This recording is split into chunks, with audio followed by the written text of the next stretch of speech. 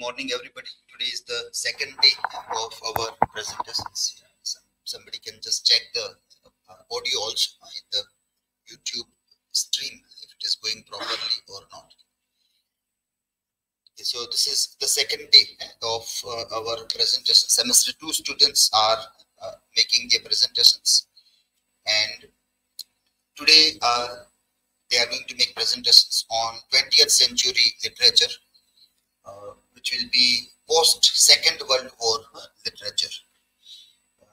But before we uh, list down the students who are going to make presentation today and their topics, just an overview of the entire process that uh, students are submitting their presentations uh, in Google Classroom. Let me share the screen.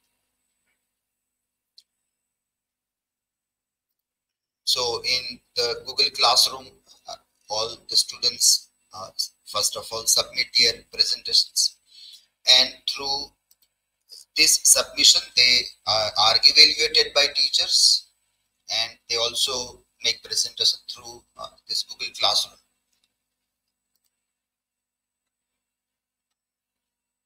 And we have a rubric through which uh, the students are being evaluated the rubric has seven criteria minimum one point and maximum uh, four points in the in the criteria through which teacher is doing the analysis uh, evaluation of the uh, presenters.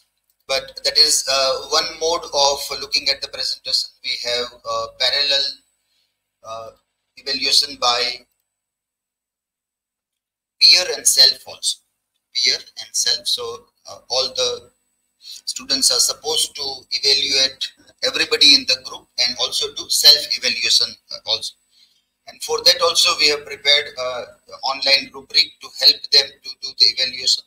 So parameters are given here and then randomly they can decide from one to four points uh, when they do the evaluation. Uh, you will see in this evaluation, this or in teacher's evaluation also that uh, even if uh, as a teacher I want to give uh, you minimum score, then also minimum is 25 points out of 100. And if you slightly do good, then you easily get 50 percentage. So yesterday's evaluation, if we see, then uh, the lowest one also is having more than 52, 53 marks out of 100. So the lowest also is more than 50 percentage. So when you do evaluation, you also can say that at least you can start with, uh, when you come here and you have prepared the slide, it means you deserve to get at least two points. At least two points. Uh, some of you have given one point to the presenter in peer and self-evaluation. Only one point. So that is a very harsh assessment. Very, very harsh assessment that you are doing that only giving only one point to the presenter. So if they have prepared slides, if they come here and they make their presentation, they deserve at least two points. Then if they have completed successfully then uh, and given answers, then three, four, and quite satisfactory, then five also you can give. So if we are ready to give 100 out of 100, why are you not able to give 5 out of 5?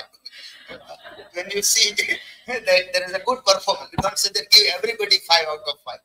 But at least when there is a relatively good presentation, then why are you so harsh on each other? if teacher has no problem, then why you have? And why we tell you this? Because you are all going to become tomorrow's teachers. And you will spoil the careers of many other students. If you will remain so harsh in your presentations, then you are going to destroy the careers of so many young uh, uh, aspiring people also. So that realization should be there, that when you are in the process of assessment evaluation, there are so many lives there, human people, they are not files, dead files but there are living human beings that you are dealing with. And uh, this is what we see time and again, that in because of some poor results in 10th, 12th standard, so many people commit suicide also. And sometimes in reassessment, they pass also. So it means the one who has done a poor evaluation first time uh, is the murderer of that. So how to overcome this? And you can't work with once the people become teachers because they start believing that we are something now.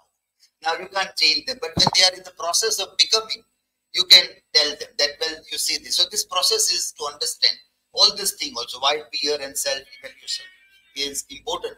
For that, all you uh, understand. So uh, you see this evaluation when you do, it is not that you have to give full points to everybody, but uh, uh, people don't deserve only one point also. So that way, from two to five, uh, you can uh, evaluate. You can pick keep a parameter that in today's presentation, the one who will give the best comparatively today. Comparatively, you know, percentile system nowadays is introduced by government also. Percentile means in that batch how you have performed. Maybe in the previous batch there were smarter people than you. Maybe in the coming batches there will be much smarter people than you also. But your competition is not with who were the previous and the later on. In percentage, the competition is with the previous batches and the subsequent batches. That's what you get. But percentile means in your batch. In your 100 people who has appeared, if you are the best, then you get 100 percentile. If you get 90 means you are in the top 10 percentage of the performers in that batch, not comparatively previous batches also. That systems are in the evaluation. So today out of this 10 uh, uh, or 14 students, uh, who is doing the best, you, can give 5 points. And then uh, uh, 4, then 3, uh, then 2. that way you can do the evaluation also. That is learning how to evaluate within the small group, not keeping in mind the other people who are not present here not those those people there. So that is uh, the purpose of seeing that how the evaluation and assessment we are able to. So for that peer and self also you don't have to be very harsh on yourself also. Uh, neither you have to be uh, uh, uh very much like praiseworthy for yourself also. Uh, but relatively good assessment of yourself how you can do. That you have to see that in a given group where do I stand if you think that you are was the best, then you can give five. But if you think that no, somebody has done better than four, three, you can give uh, to yourself uh, uh, also. So no need to give only one point to yourself also. You also uh, might have done better. So uh, that way you can keep in mind uh, when you do the evaluation. So go through, as I told you, you have to go through what evaluation you have done. And you have that email also. It is all transparent system. So people can see that also. And at the end, when you submit, you get the charts also. At the end, you get uh, the chart. So once you submit, uh, uh, you all will get uh, Uh, uh, this also, uh, that uh, uh, in this paper, 28, so 14 people have done the assessment and you will be able to see that how you are being evaluated also on, on different parameters so that you can uh, uh, see uh, the performance wise and can see. so if it is by mistake, then you can add it also. If the things are by mistake, then you can still because editing option we have put there. No need to resubmit, but editing option we have also put, so you can see that. Okay, so that is uh, uh, something that uh, I noticed. So I thought that I should tell you that how you have to evaluate and you have to read the things uh, uh, uh, also. So that is how uh, uh, the things are done. Now uh, let us have a list of today's presenters. We will have Vishwa today making presentation on gender dynamics and power relation in 1984. Nanda's presentation on existentialism in Waiting for Godot uh, Maya on Waiting for Godot and Men's Search for Community. Kusum will make it on Newspeak, the term in novel 1984. Kavita uh, will be reading on Art as a Double-Edged uh, Sword, the complex relationship between creativity and political ideology in An Artist of the Floating World. Jayshri's presentation on the power of manipulation, exploring Control and Deception in George Orwell's 1984. Jay will make it on George Orwell's 1984, a Marxist study. Hiral on deceptive uh, narrators, unraveling truth in Drishyam, and an artist of the floating world. This uh, uh, thanks to generative AI that we are getting very good titles, very attractive titles. We hope that the presentation also will be equally attractive as the titles are uh, looking here. Uh, uh, Dhatri will make it on man or manufactured, redefining humanity through biopunk narratives. Darshan on waiting in absurdity, exploring existential themes in Waiting for Godot. uh, Bhumi's presentation on Beyond Humanity, a comparative analysis of dehumanization in dystopian narratives. Akshay's on narrative techniques in 1984 by George Orwell, and the last one in the morning session will be by Akash on exploring the floating world, understanding uh, uh, Edo period uh, of Japan. Okay? so let us start with the first one. I guess Vishwa, you can uh, start with the with the presentation.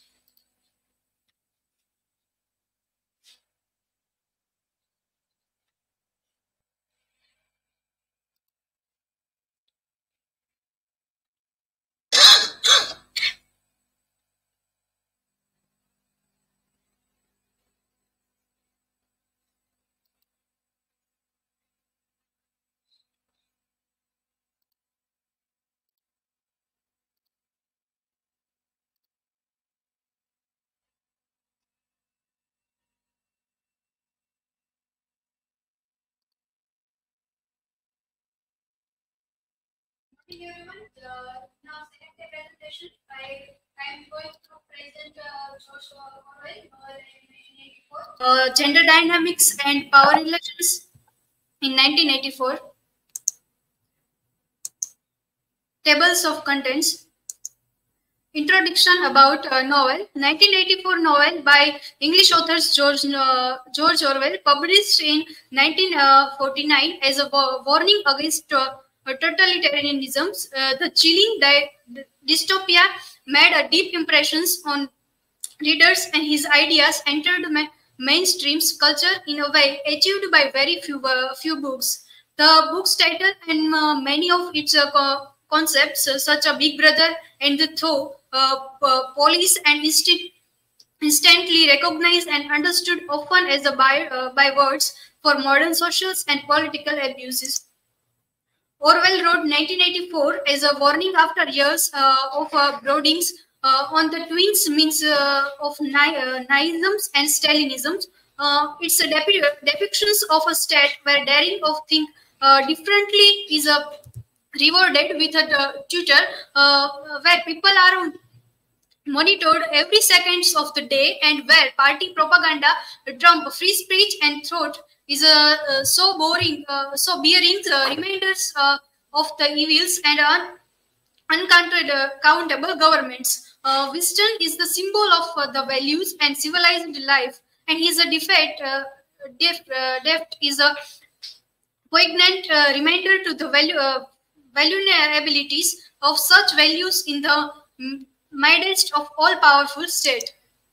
Uh, gender roles in 1984, uh, Orwell constructed a narrative that portrays women as a passive and sexual object of male desires. Uh, Orwell does this uh, through uh, various literary techniques that render the women of the novel lesser than men.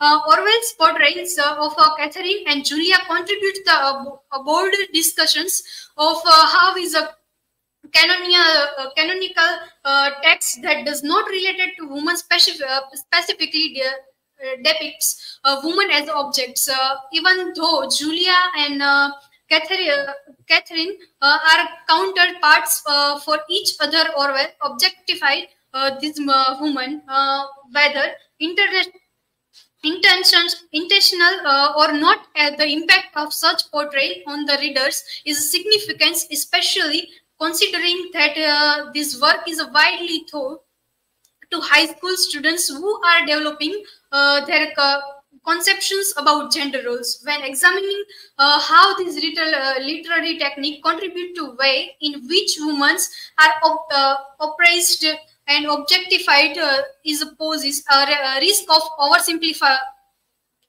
oversimplify issues potentially leading to the an oversights of how the woman in the novel may this of subvert this role this novel does not uh, pertain to femini uh, feminism directly. The feminist perspective is often uh, overlooked in uh, conversations re regarding the novel as they tend uh, to focus on the danger uh, to an authentic authoritarian regimes resulting in students who are exposed to misogynistic ideas without uh, critical examinations by acknowledging and accounting for the complexity uh, of this uh, factor, a more nonsense understanding of the impact of the Orwell portrait of women on the way in which women are op oppressed and objectified.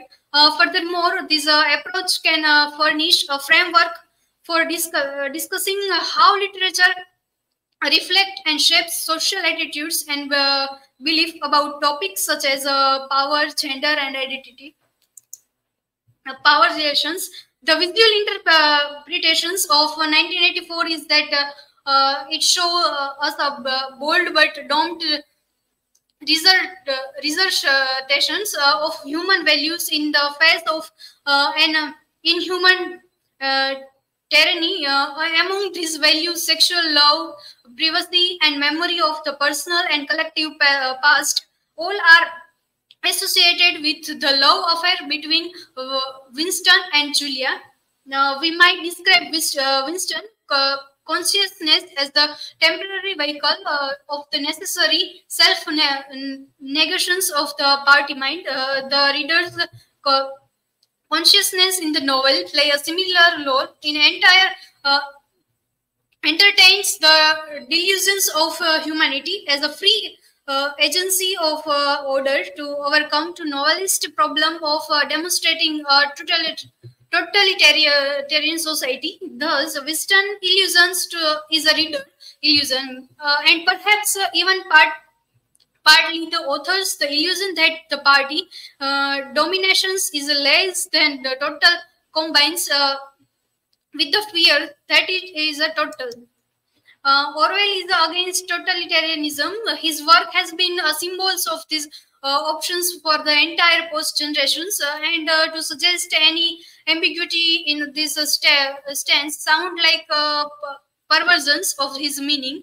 yet Orwell was clearly intrigued and attracted by the notions of totality uh, despite uh, through uh, oppos oppositions which turns out to be part of uh, the system.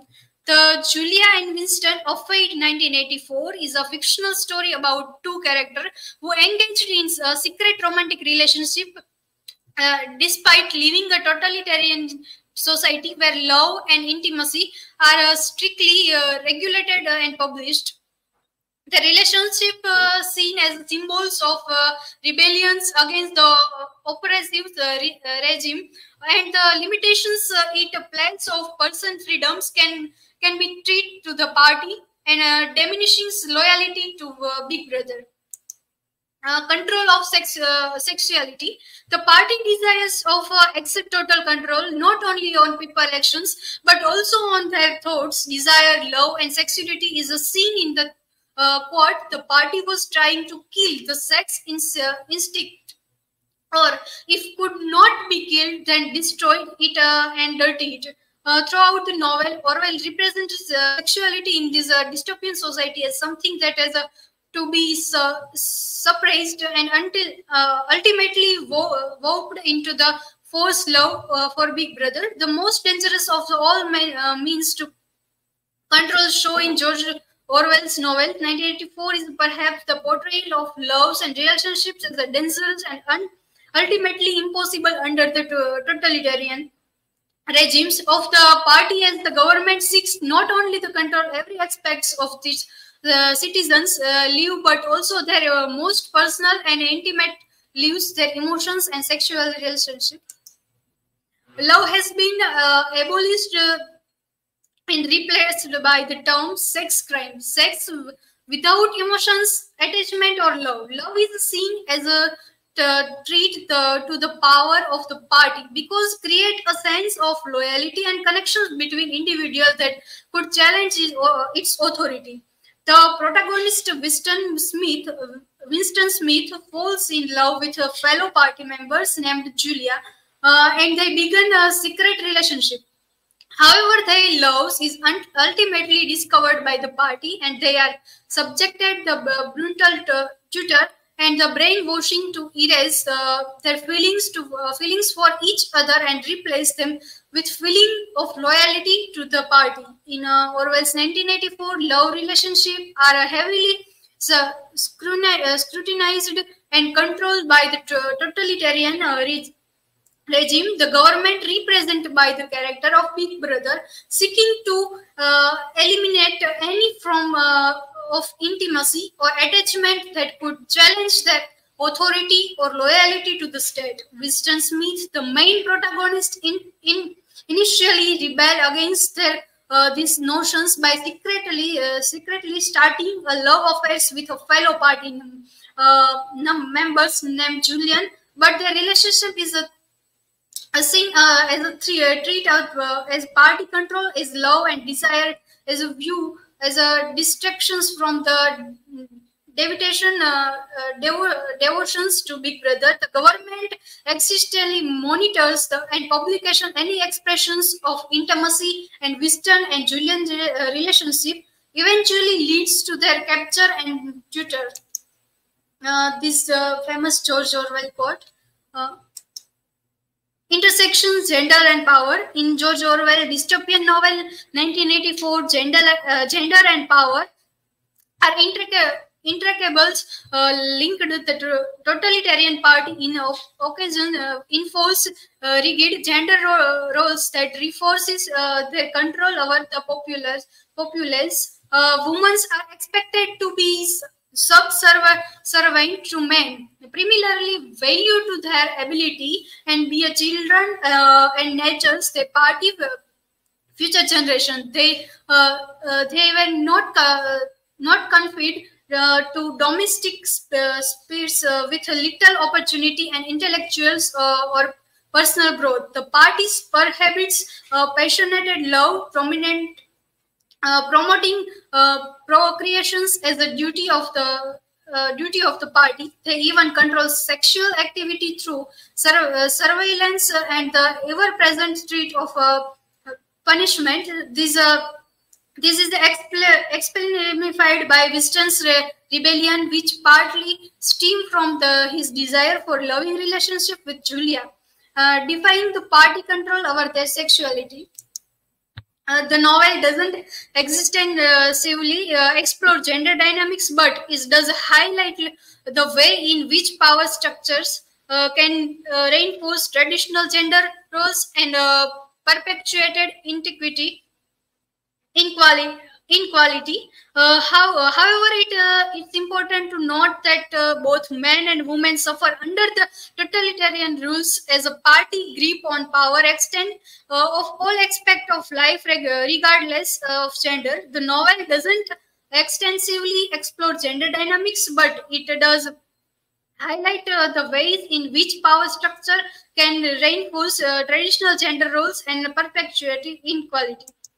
Uh, conclusion, the gender dynamics uh, and power relationship in uh, uh George Orwell 1984 underscores the per persuasive influence of the party's totalitarian regimes on all aspect all aspects of society, including gender roles and relationship. While men uh, predominantly hold positions of authority within the party and society, both men and women are subjected uh, to the oppressive uh, control um, mechanism of uh, the regimes. gender serves as another tool through uh, which the party experience its power, reinforces traditional roles, and perpetuating inequality. Inequality. Ultimately, the novel uh, depicts uh, a dystopian words where in individual regardless of gender and are uh, uh, stripped of their autonomy and subjected to the whims of, of a uh, ruthless regime. This is my reference. Thank you. Anyone have question?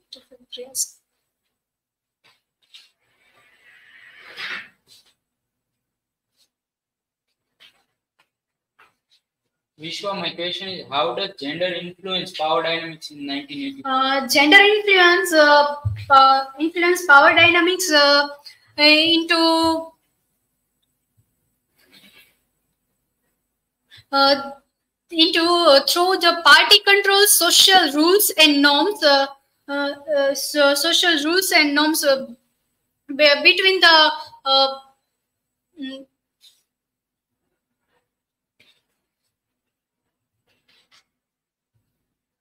between the enforcement. Next.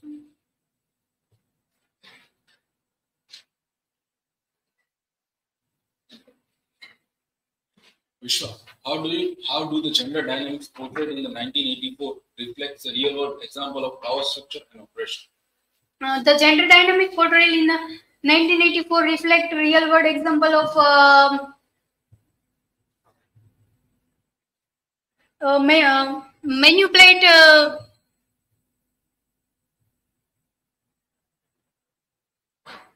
manipulate by those power uh, maintain control uh, and perpetuate uh, perpetuated with society thank you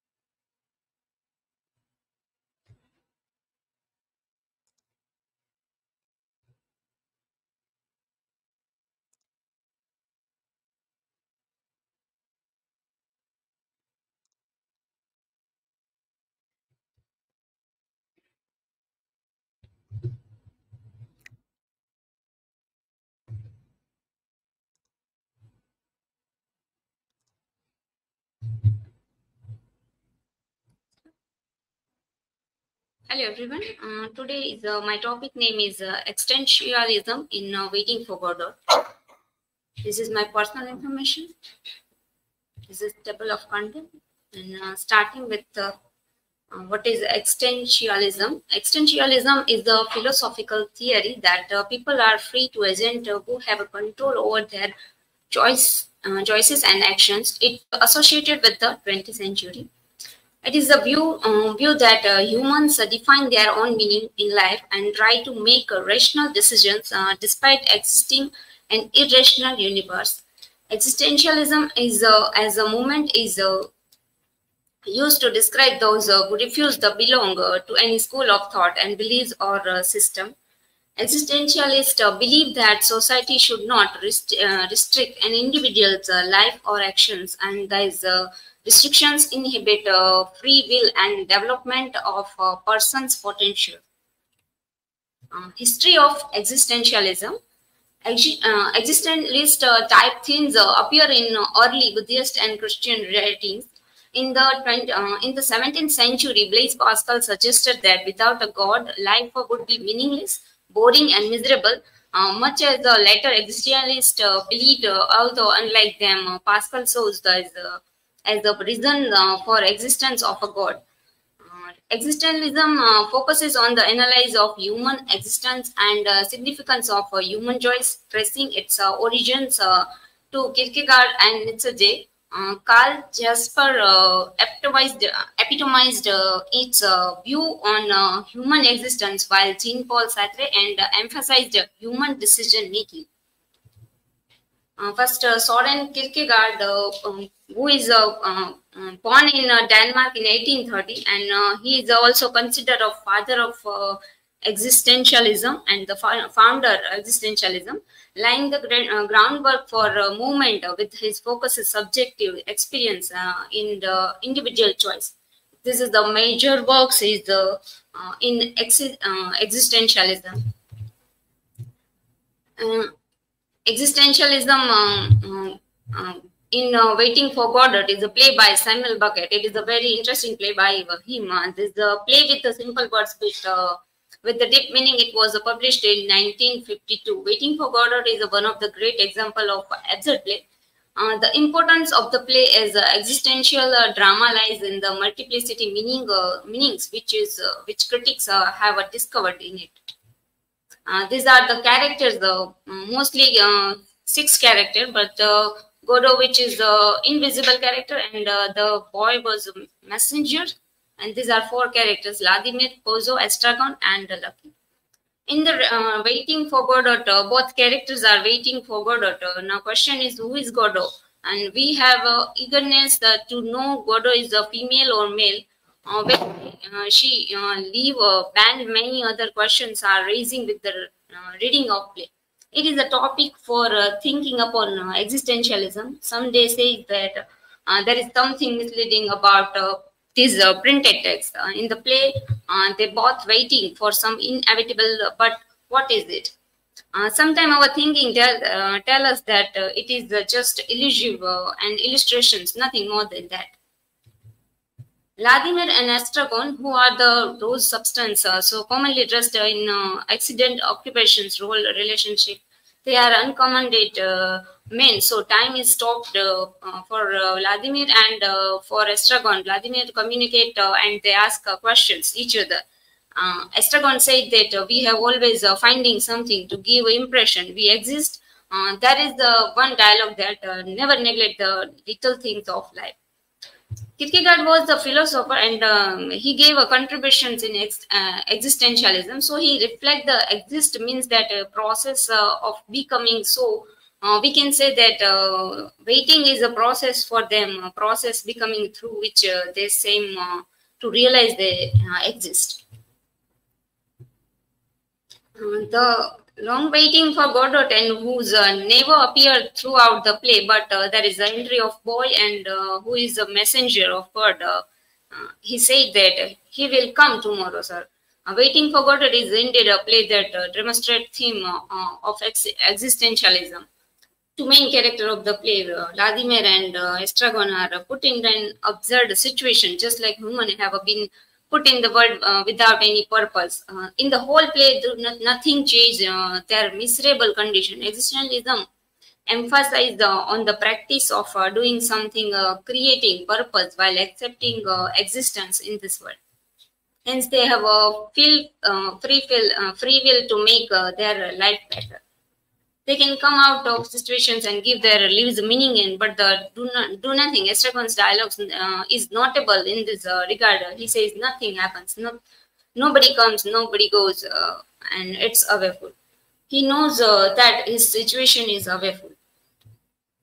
Pozzo and Lucky both are important, uh, but uh, when but in act number two, Pozzo says that when when one day is that uh, not enough for you, and one day he want uh, Brahma, one day I went blind, one day I uh, we will go deep one day we were born, uh, and one day we shall die. The same day, the same second, uh, it is that not enough for you. Uh, they give uh, they give birth uh, straight of grave. The light gleams an instant. Uh, then it's night and once more. Now the conclusion: waiting for Godot captures this essence, essential waiting through Vladimir uh, Vladimir reflections. Let us uh, do something while uh, we have the chance. Uh, this got uh, encapsulate uh, characters, existential dilemmas, and the urgency of finding purpose amidst uncertainty. This is my box title. Thank you.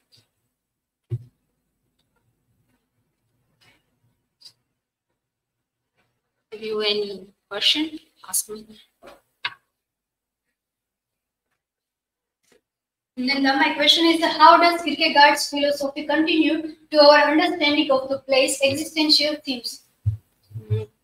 Kierkegaard uh, philosophy uh, to um, um, uh, existentialism uh, re- resonate with the uh, characters uh, uh, characters uh, ongoing reaching the uh, waiting or questioning and the main uh, mm, in the main concept of the uh, discover ourselves journey of discover ourselves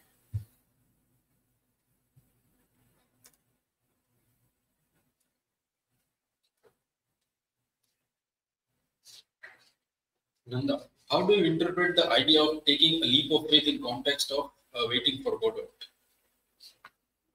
And first of all, leap of faith means that uh, believing in uh, uh, which is uh, not uh, have evident, but uh, we believing in that.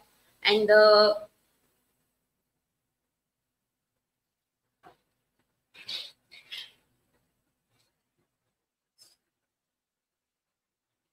and we ever know sure about it. Uh, what is the reason behind that? But uh, we uh, hope and uh, exist or not, but not believing. But uh, we try to uh, become a success. Thank you.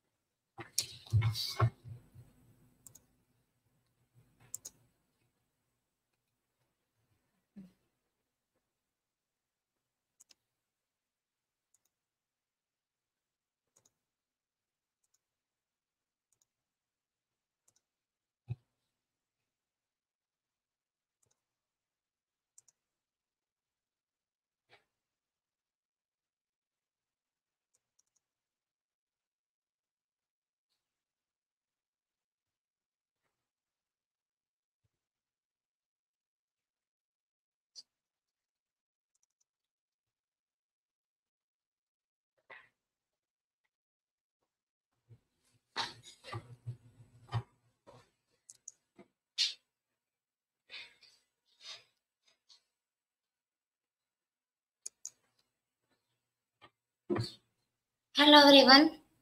Today, myself Maya Bhatia. Today is my presentation on waiting for growth and men's search for community. This is my personal information about author. Full name Samuel Barclay Beckett. Samuel Beckett uh, was an Irish novelist, dramatist, short story writer, theatre director, poet, and literary translator. Samuel Beckett, born in Du- Dublin, Ireland in 1906. He was died in 1989. Samuel Beckett, winner of the Nobel Prize of Literature in 1969. Famous work, works of uh, Samuel Beckett, the famous and greatest work uh, Waiting for Godot. Second, Endgame. Third, Happy Days for Murphy, for Bot. And uh, six, uh, Molloy. Theater of the absurd definition. Marriage and Webster Dictionary defines the terms as theater that seeks to represent the absurdity of human existence in a meaningless universe by bizarre or fanta- fantastic meaning means. Waiting for Godot and Man's Search for Community. Samuel Beckett's Waiting for Godot is a play about two tramps with the rather exotic names of Vladimir and Estragon. They stand beside the road near a tree, tree which is dead in Act 1 and wait for Godot. They are not certain whether they are at the right place or that this is the right day, nor are they sure whether Godot is coming or what they ask him for or whether they have his name right. But they wait. They agree that nothing is left to be done. All of the possibilities have been exhausted. The rope has made a terrible the rope has made a terrible shot on Lucky's neck. while Lucky himself has been reduced to a robot.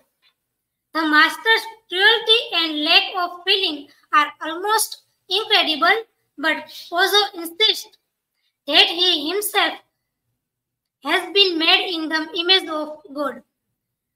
They go back to their unhappy Vizir Estragon suggests, and as he has before, that they live, but Vladimir reminds him that they are waiting for Guru. Finally, a boy arrives with a message from Godot to the effect that he is not coming today but will certainly come tomorrow. When Estragon now suggests that they leave, Vladimir agrees, but they do not go. The certain fails, fails on the first act. As Act 2 opens the next day, a few leaves have appeared on the tree beside the road, but the two hobos wait in much the same mood, mood as yesterday. Finally, another boy appeared with a message from Godot. He will not come this evening but will be there tomorrow.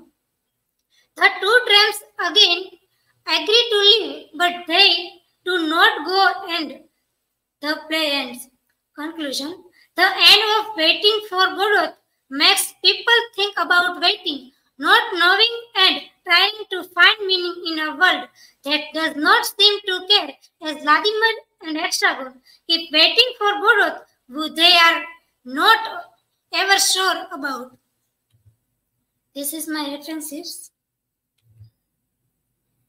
If you question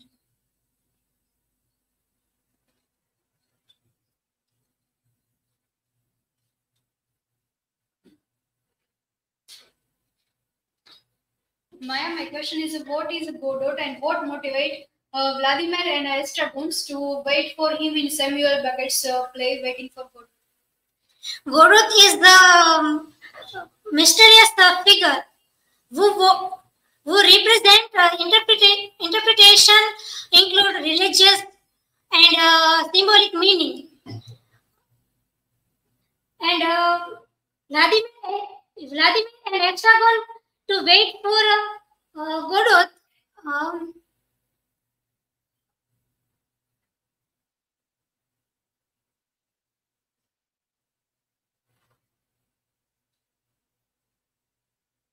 next.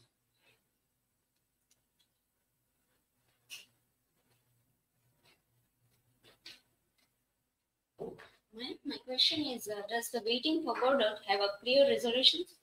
No, waiting for Godot does not have clear relation uh, about its uh, Estragon and uh, Vladimir and um, and of um,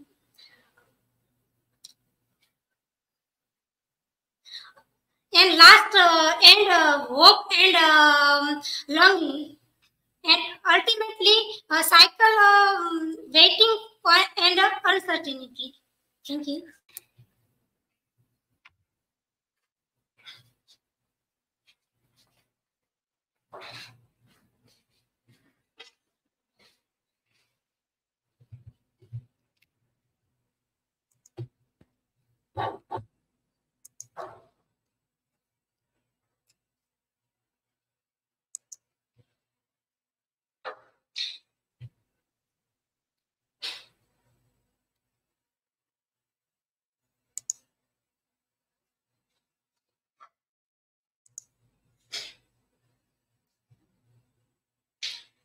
Good uh, good morning, everyone. My name is Kusum Sarveya, and uh, on the second day of presentation, I am going to uh, deliver a presentation on uh, newspeak, the term in the novel of uh, George Orwell, 1984. This is my personal information tables, which we are going to discuss in the presentation. And let's start with the introduction.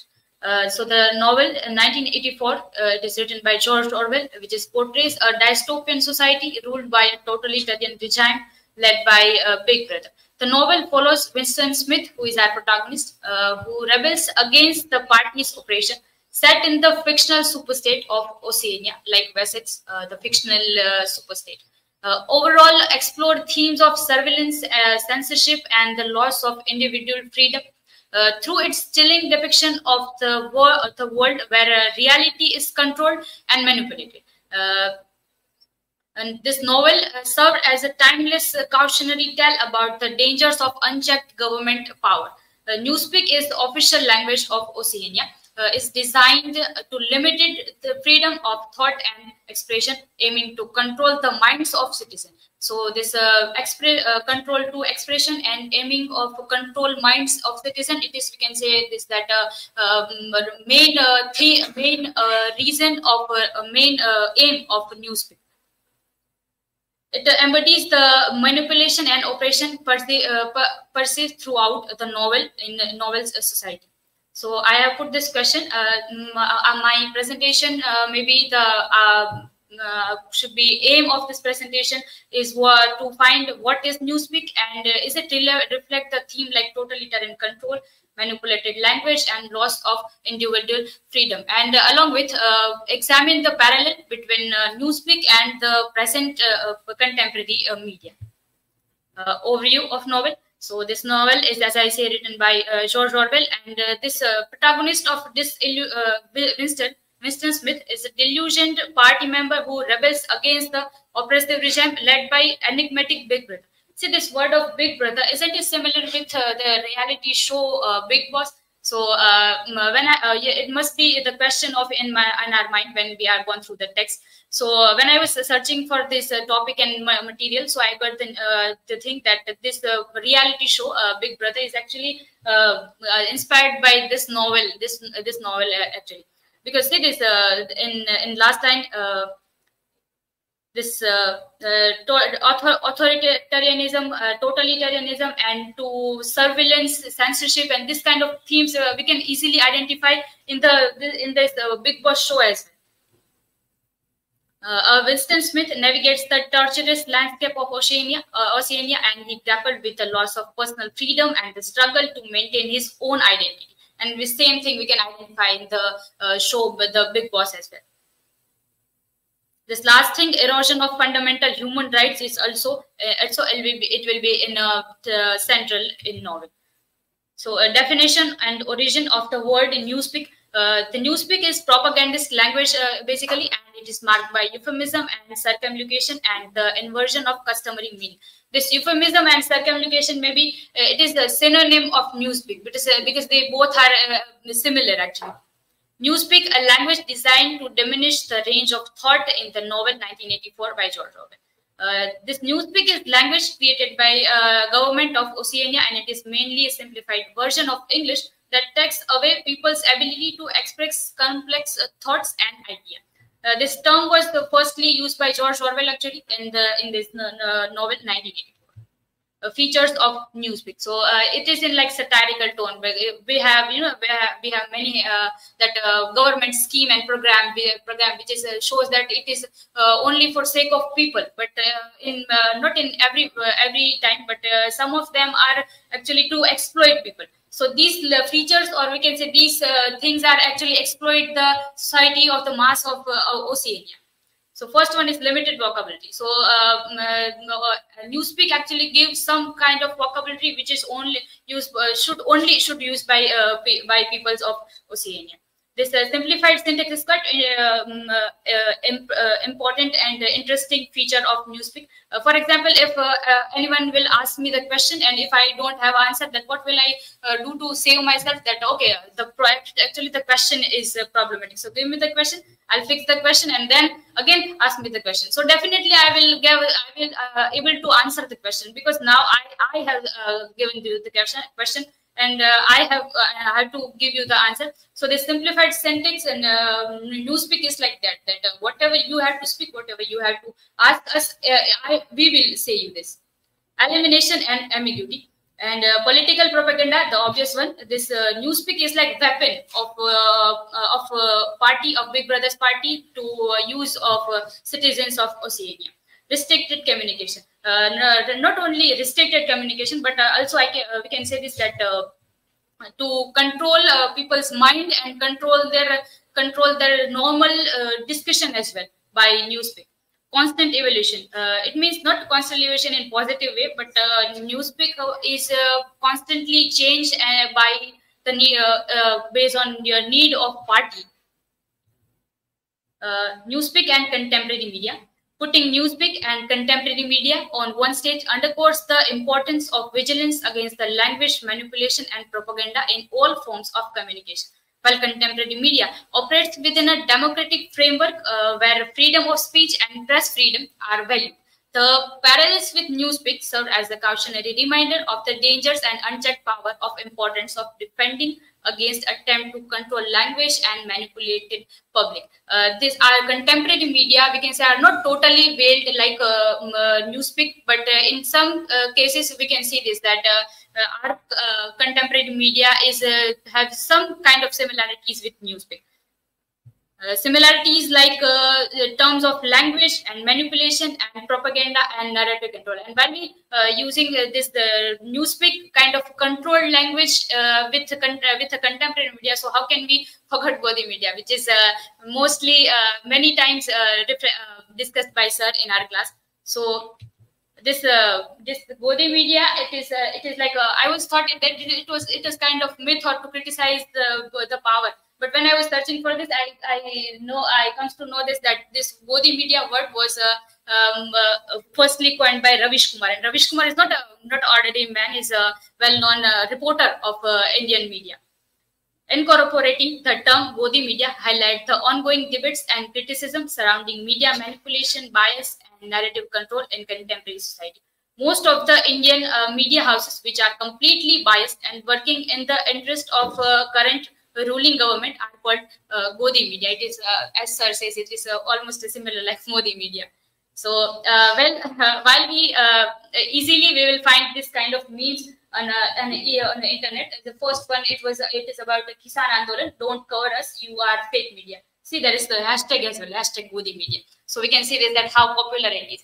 And uh, we will easily find this kind of memes uh, because and the only this thing shows us that our uh, new contemporary media is not uh, not totally uh, covered by covered like new covered and controlled like uh, like news.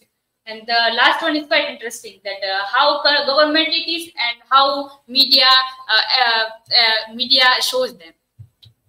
And let me conclude the presentation here. The concept of newspeak serves as a cautionary tale, reminding us of the dangers of unchecked power and the importance of defending against attempt to control language and manipulate public opinion. In today's media landscape, language manipulation, propaganda, and the creation of echo chambers are evidently challenging individuals to critically evaluate the information they consume and seek out uh, alternative voices. These are my references. And thank you. We can discuss the questions now.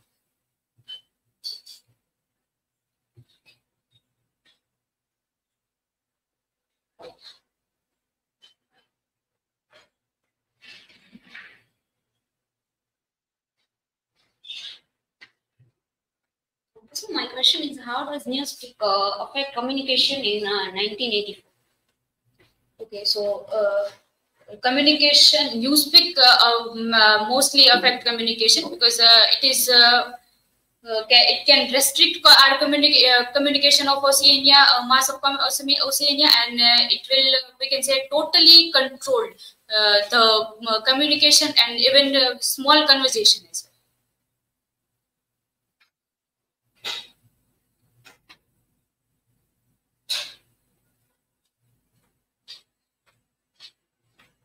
So my question is, how the purpose of newspeak can be defined in one line? uh, in one line uh, newspeak uh, in one line i can say this that uh, newspeak is kind of language which is uh, specially made up for controlling the communication to of and discussion and uh, ultimately the minds of people Thank you.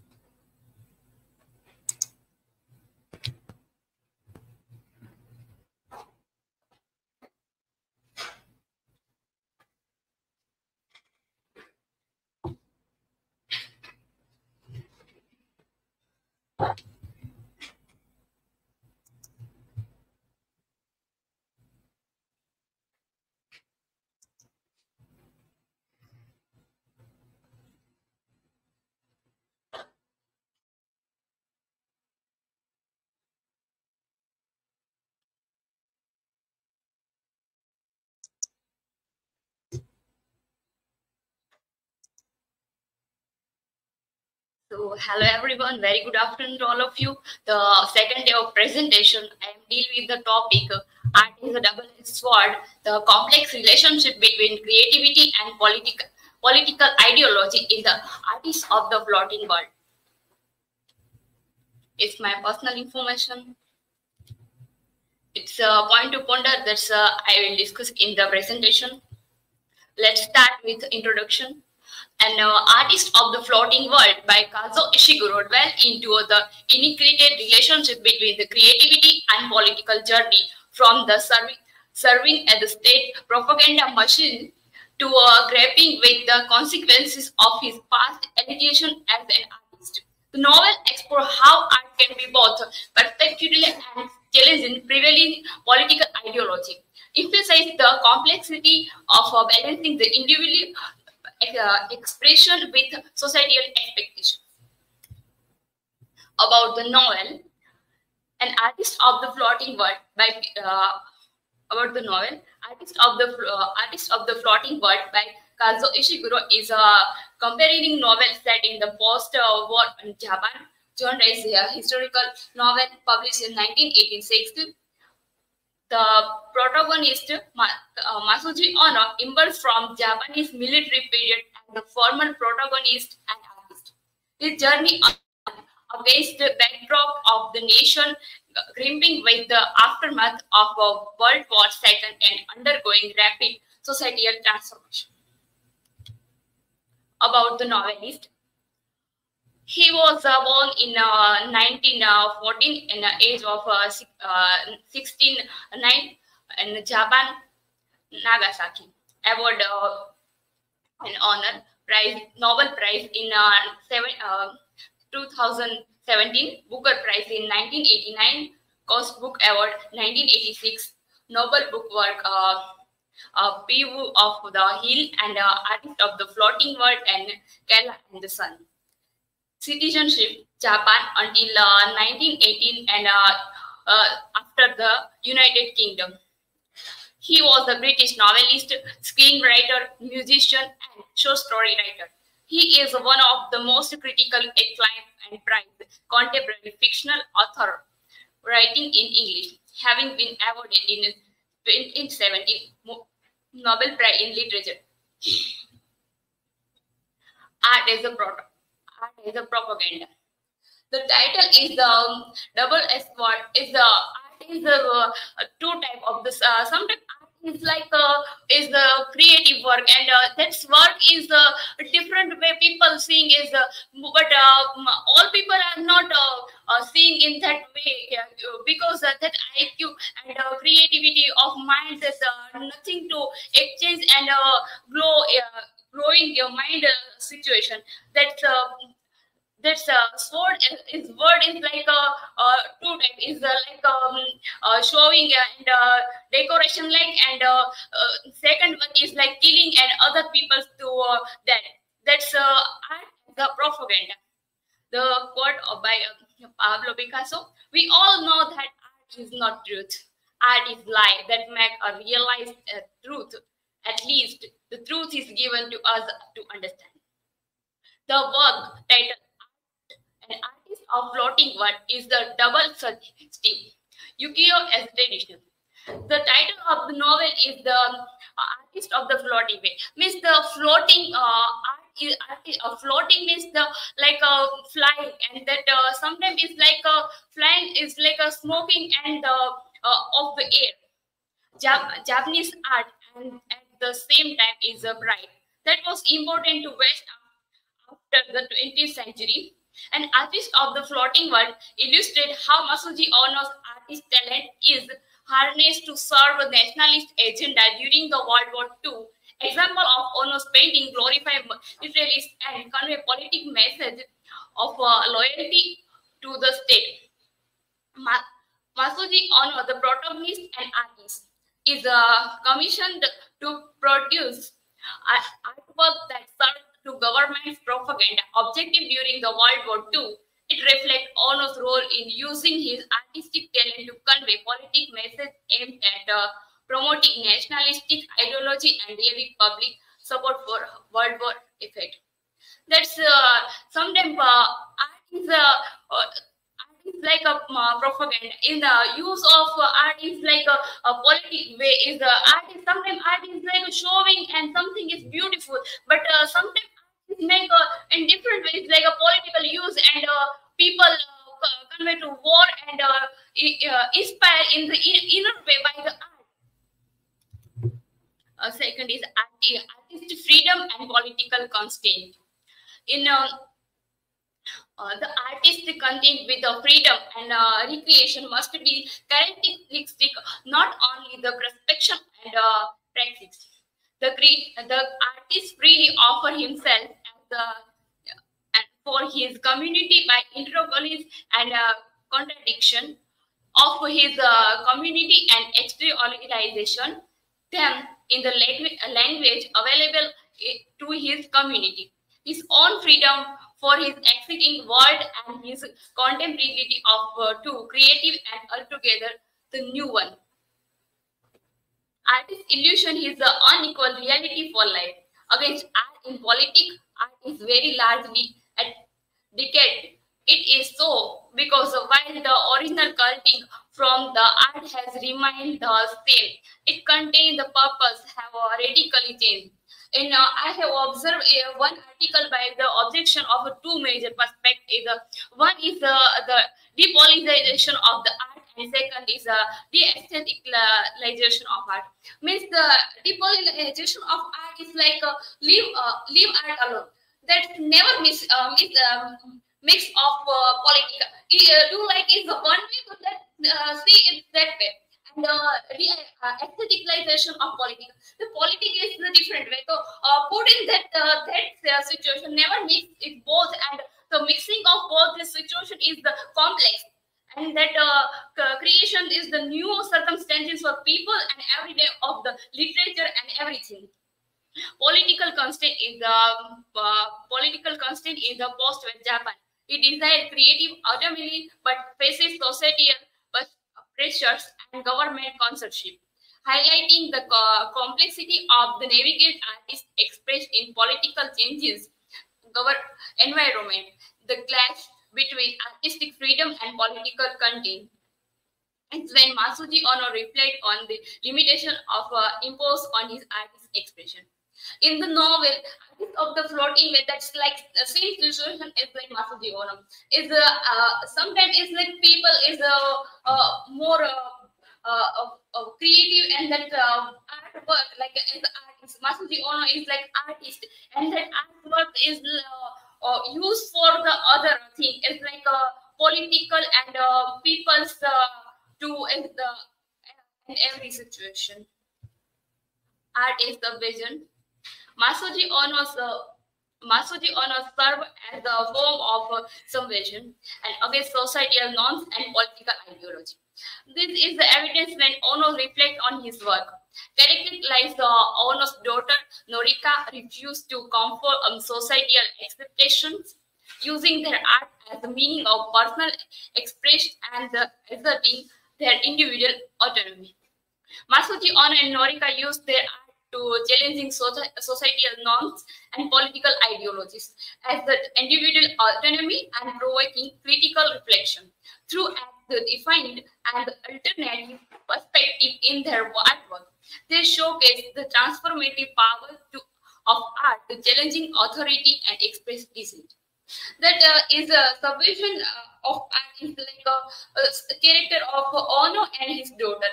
Is the uh, sometimes is a, a, a is like art is a subversion because Ono's uh, uh, art and painting is used for a, a nation, but uh, in the past situation is good and bad thing, but in the future that's the is a different way. It's like uh, people are hating that uh, you are in the war and something big destroy the uh, world and something is like a Japanese uh, world or say uh, that uh, know about this situation that never relationship with that person and is redemption through the art. An artist of the floating world, Masuji Ono find redemption through the art as the trans transition from serving political agenda to reflecting on personal introspection and re- recolonization.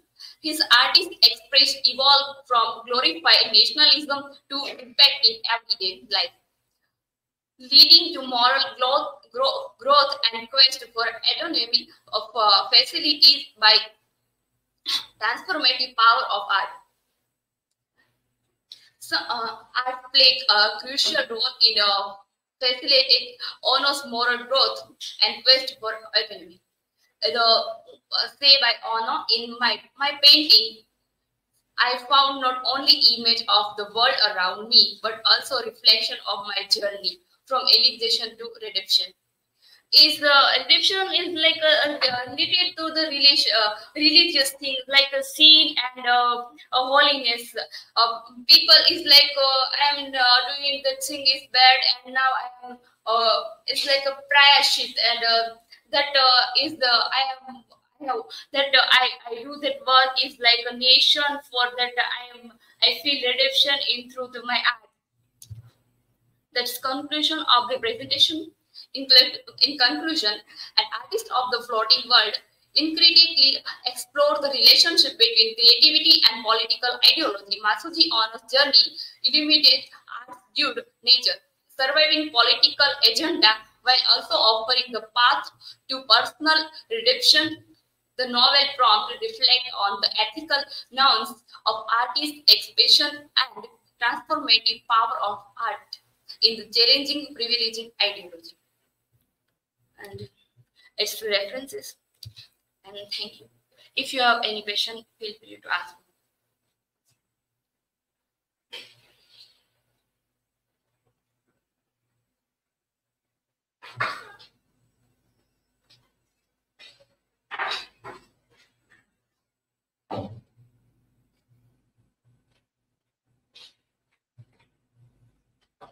Kavita, my question is what ways do governments and author- authoritarian regime utilize art as tool for propaganda in the modern world?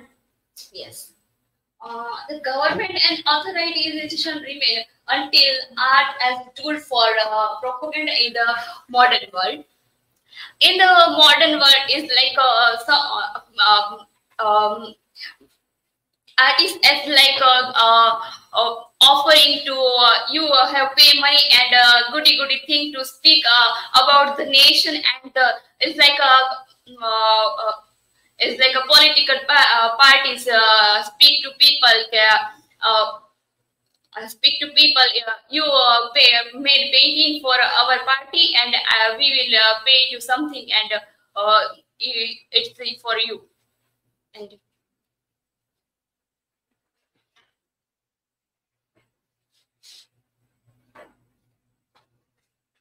Kavita, my question is Can art still be affected as a form of political activism in the age of social media and digital communication?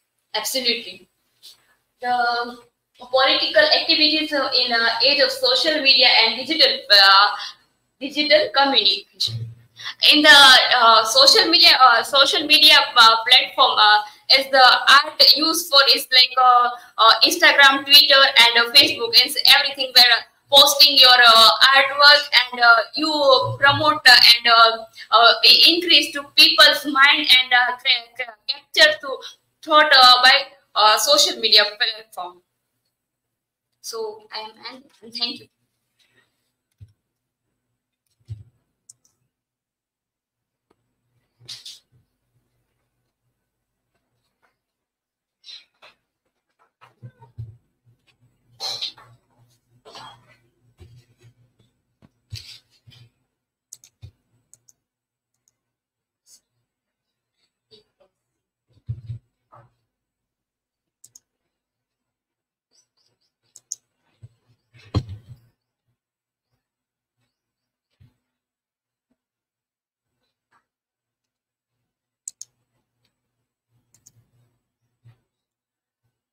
So, good afternoon, everyone.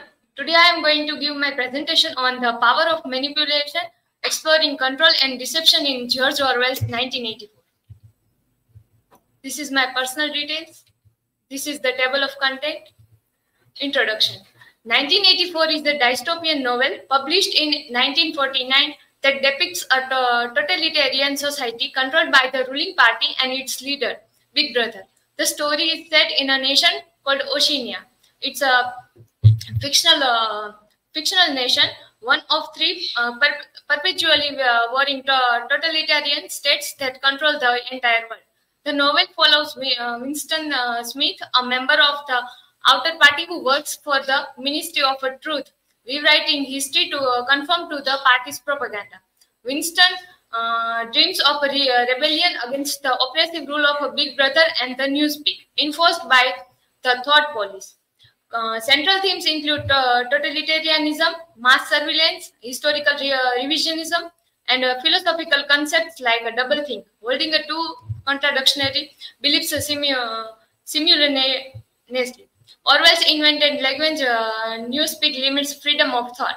The novel has had a profound impact popularizing terms like a big brother and uh, thought police, and inspiring many modern concepts of uh, privacy, cen- censor, censorship, and repressive control uh, by authorities. It uh, stands as a warning against uh, totalitarian control and repressive regimes. So here is the mani- uh, manipulation techniques that are used in the uh, novel. The, the first one is the propaganda. propaganda.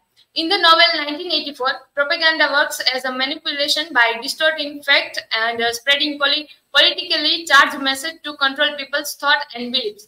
The party uses propaganda to shape a public opinion, erase records of the past, and substitute falsified information to align with the changing policies. Through uh, censorship and uh, false uh, falsification, individuals like Winston Smith are both victim, uh, victims and uh, per, per, perpetrators of a propaganda, ultimately manipulating reality to serve the uh, party's agenda.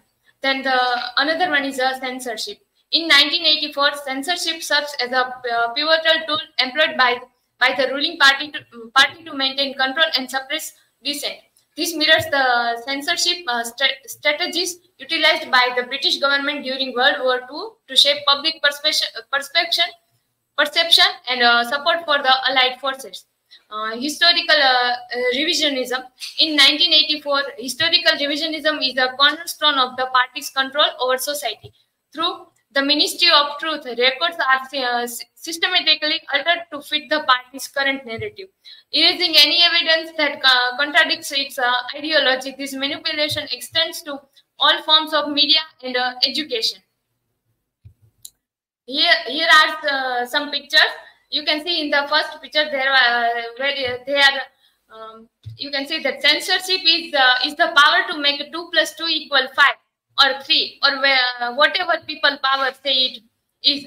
It means that we have to um, we have to um, do whatever power will say. If they say that it's a night, then it's a night. If it's a day, then it's a day then ma- manipulation of the truth in the novel. In 1984, the party control uh, controls over uh, controls truth through the Ministry of Truth, altering historical records of uh, to fit propaganda, known as uh, rectification. Winston's Winston's role involves uh, rewriting history to align with the party's narrative by changing newspaper articles, altering photographs, and fabricating speeches and reports. This, perpetu- thus, this perpetuates the party's control over truth, ensuring a favorable perception of its leader and ideology among the population. Means they are hiding the truth and uh, uh, they are they are giving us that what we want in our uh, ruler. That if we want our ruler like this, they will make that uh, person like that. Then here are the uh, how they did. Ministry of Truth alters records uh, for propaganda. Winston uh, revises history to match party's narrative. Uh, then uh, that uh, how um, right now party is saying they are changing the history uh, uh, according to party's narrative. Rectification updates accounts to reflect current agenda. Fabrication, false speeches, reports, and statistics. Then uh, party controls all uh, sources to suppress dissent. Memory hole destroys uh, inconvenient, inconvenient documents. Double think and newspeak limit to and expression. Manipulation ensures party's totalitarian rule. Then ma- manipulation of language. Explanation of newspeak. Newspeak is a controlled language developed by the party to limit freedom of thought and expressionism. Its purpose is to narrow the range of thought by el- eliminating words and concepts that could challenge the party's authority and or ideology by reducing language to a simplified form. The party seeks to control the way people think and communicate, making uh, rebellious or critical thoughts impossible to express. Here are some uh, examples of newspeak and uh, newspeak words and implications. So the first word is, uh, first is the double think, the acceptance of contradictory beliefs uh, simultaneously. It allows individuals to believe two opposing ideas without acknowledging the contradictions, thereby preventing In the novel, uh, character like Vincent, they know that uh, the government are doing wrong, but uh, still they are with uh, them at the end. If we see in a normal life, like uh, if uh, someone is smoking, then they, they know that the smoking is injurious for health, but still they are smoking.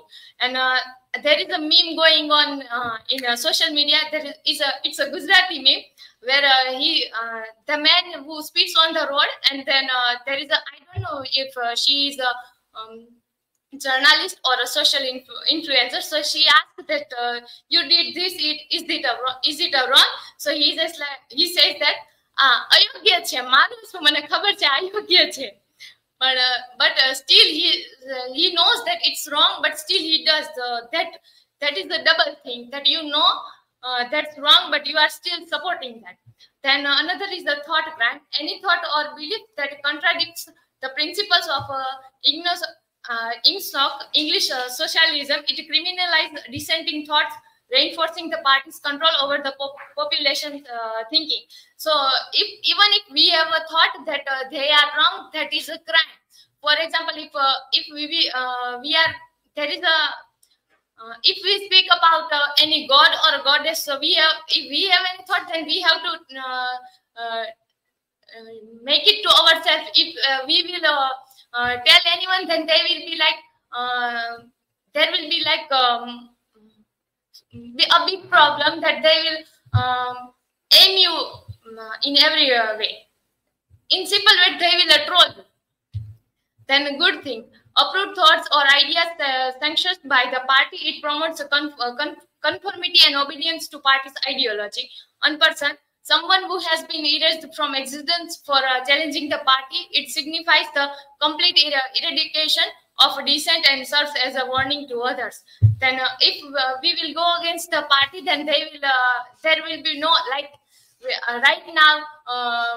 Rahul Gandhi and Modi, they, Modi, then um, now Rahul Gandhi, uh, Congress party is like a one person. So that and then uh, duckspeak, uh, mindless speech or uh, parroting party slogans without engaging in uh, critical thinking. It reinforces the party's control over language and uh, thought by discouraging independent expression. Expression. Then mani- manipulation of per, uh, perception. That how they manipulate. Then uh, here is the telescreen constant uh, surveillance devices used for monitoring and uh, propaganda the dissemination. Here you can see in uh, there is a in movie we uh, we have seen that there is a uh, TV screen. So then another is the propaganda shapes the city, citizens' perceptions of reality, blurring lines between public and private space. Then uh, party slogans and uh, Big Brother images. Then uh, there is the slogans like "War is a peace," "Freedom is a slavery," and "Ignorance is a tr- strength." Manipulates language to confuse and control. The many um, ma- uh, manip- manipulation uh, with the language is also a big um, part of the manipulation. Then Big Brother is watching you, instill, instills uh, fear and obedience through constant surveillance. Like uh, if we say, uh, you can see in that uh, picture that uh, there is everywhere there is a picture that uh, Big Brother is watching you. Then uh, Big Brother's image is there here. You can see that these are the slogan that war is the peace, ignorance is the strength, and freedom is the slavery. Then manipulation of emotion. Fear and manipulation. Fear is we, uh, we did as a powerful tool to suppress dissent and maintain control. So we uh, we have we were all uh, everyone is uh, manipulated with the fear. Like in childhood, uh, we uh, we were used to uh, listen from our mother that "Hui jaane to ma avshe." That uh, that was a fear that uh, mother of darkness. So we can uh, say that the mother of our darkness, that Andharani Ma and Big Brother both are same. They don't exist, but we are still feared from it. Then emotional manipulation especially uh, through fear ensures obedience to the party and then when our, our, mom says that and then we we also sleep then examples of surveillance and uh, punishment. Telescreens. Telescreens, uh, thought police uh, and uh, room number 101, which is uh, room number 101 was a punish, punishment capitalized on individual worst fear. Then public executions and uh, dis disappearance serve as uh, determinants reinforcing fear and uh, obedience. Like if uh, if we can say that uh, that is a uh, um, that is a Bollywood movie and that is a dialogue that uh, uh, सोजा नहीं तो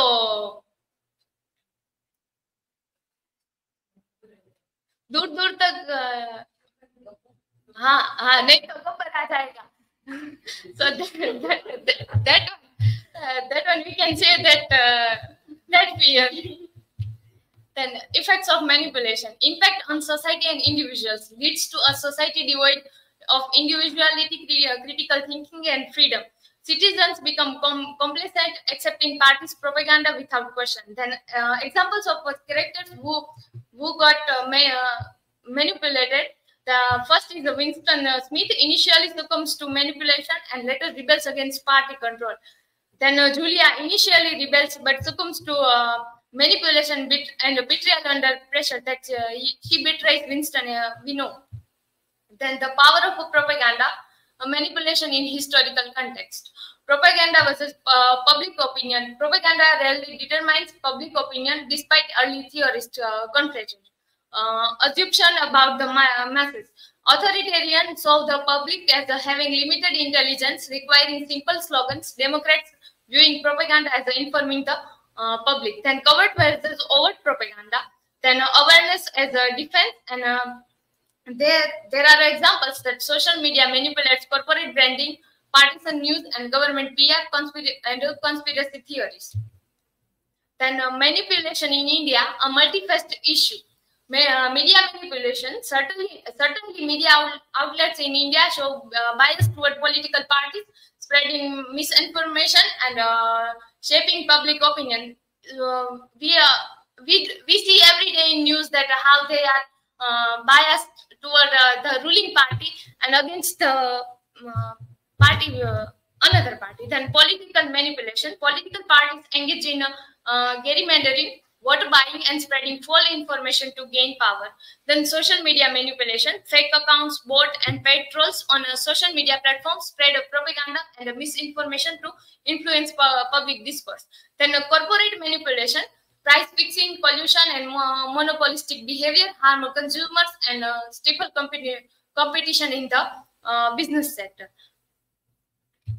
Here are some pictures. You can see that uh, here is the uh, uh, election motto that they, they will uh, give us uh, that sankalpa patra that we will do if you choose us then we will do this but this is also a mani- manipulating technique then we uh, we are getting uh, we are uh, people be like yes sir, if we will choose them then this, this will happen then another picture is that my friend uh, sent me a few days ago about uh, her- her mother got a call from uh, he was saying that he is from a uh, Uttar Pradesh and as a, as a SHO from Uttar Pradesh, he said that uh, your son, your son is the con- convict of the rape. And the fun fact was they are only three daughters. They have no brother.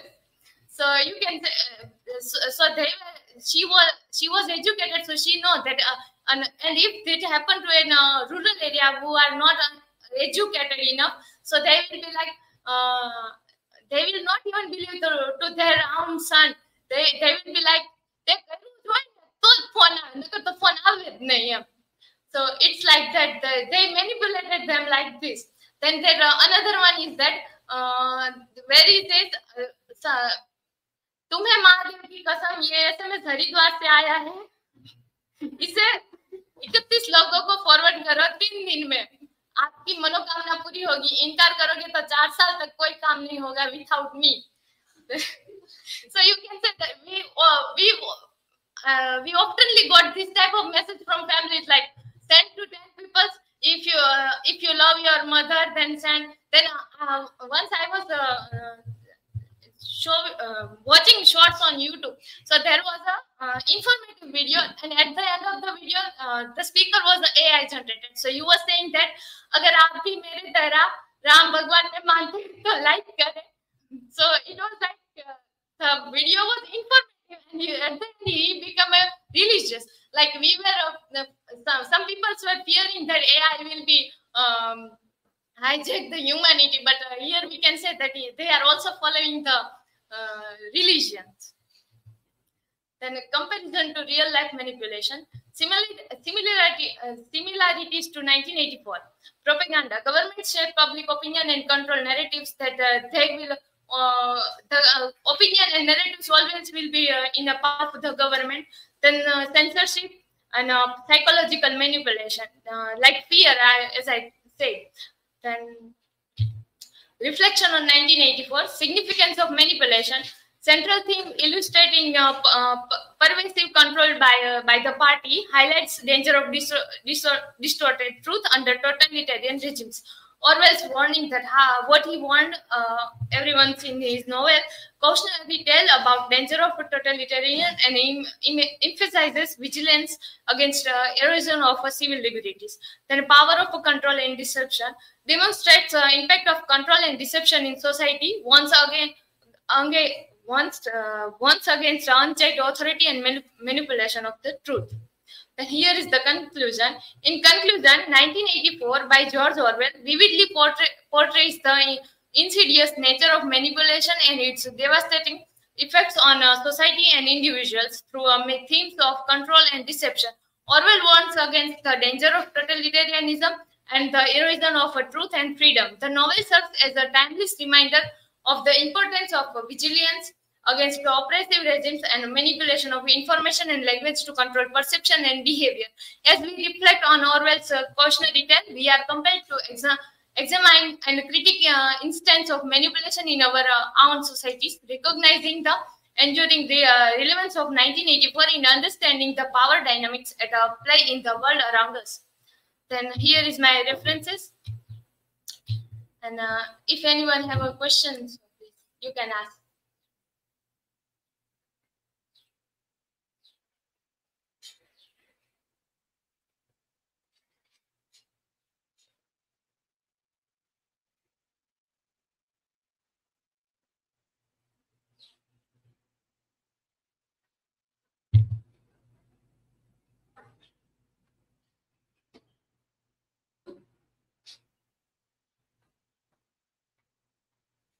Jayshri. So, how can Indian tackle the complex challenges of uh, manipulate across various uh, sectors such as uh, media, politics, social media, corporate, religious, uh, governance, and uh, societal harmony? In your point of view.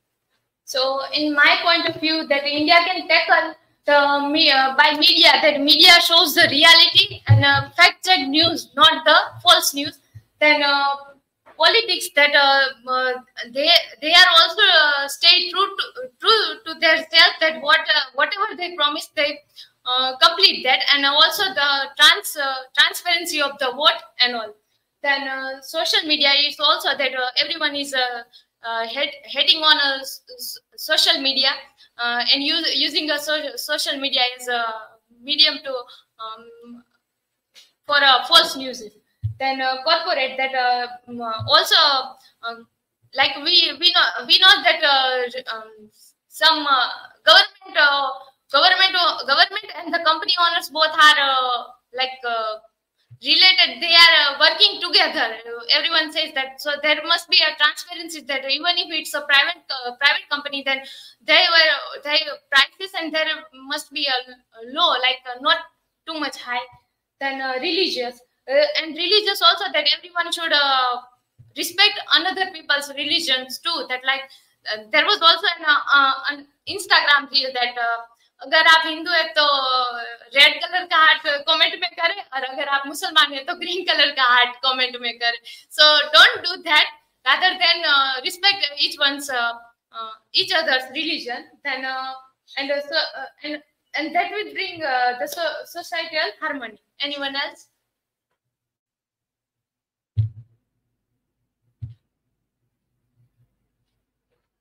My question is uh, how do characters in novel 1984 respond to manipulation and what does their behavior reveal about the effects of manipulation on the both society and individual?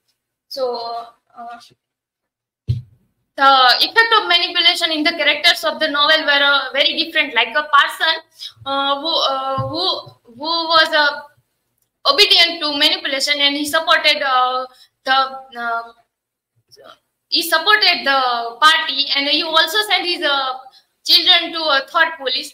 Then uh, another one is a Winston who was a uh, uh, who who was uh, who know that uh, party is wrong and he tried to uh, go against them too but uh, still at the end he has to succumb uh, in uh, manipulation of them then uh, julia is also she was a she was a very uh, mm, she she was also against the uh, uh, party and her ideology was also against the party at the end of the uh, novel or we can say that he, uh, she chose to betray Winston and uh, choosing the party. Thank you.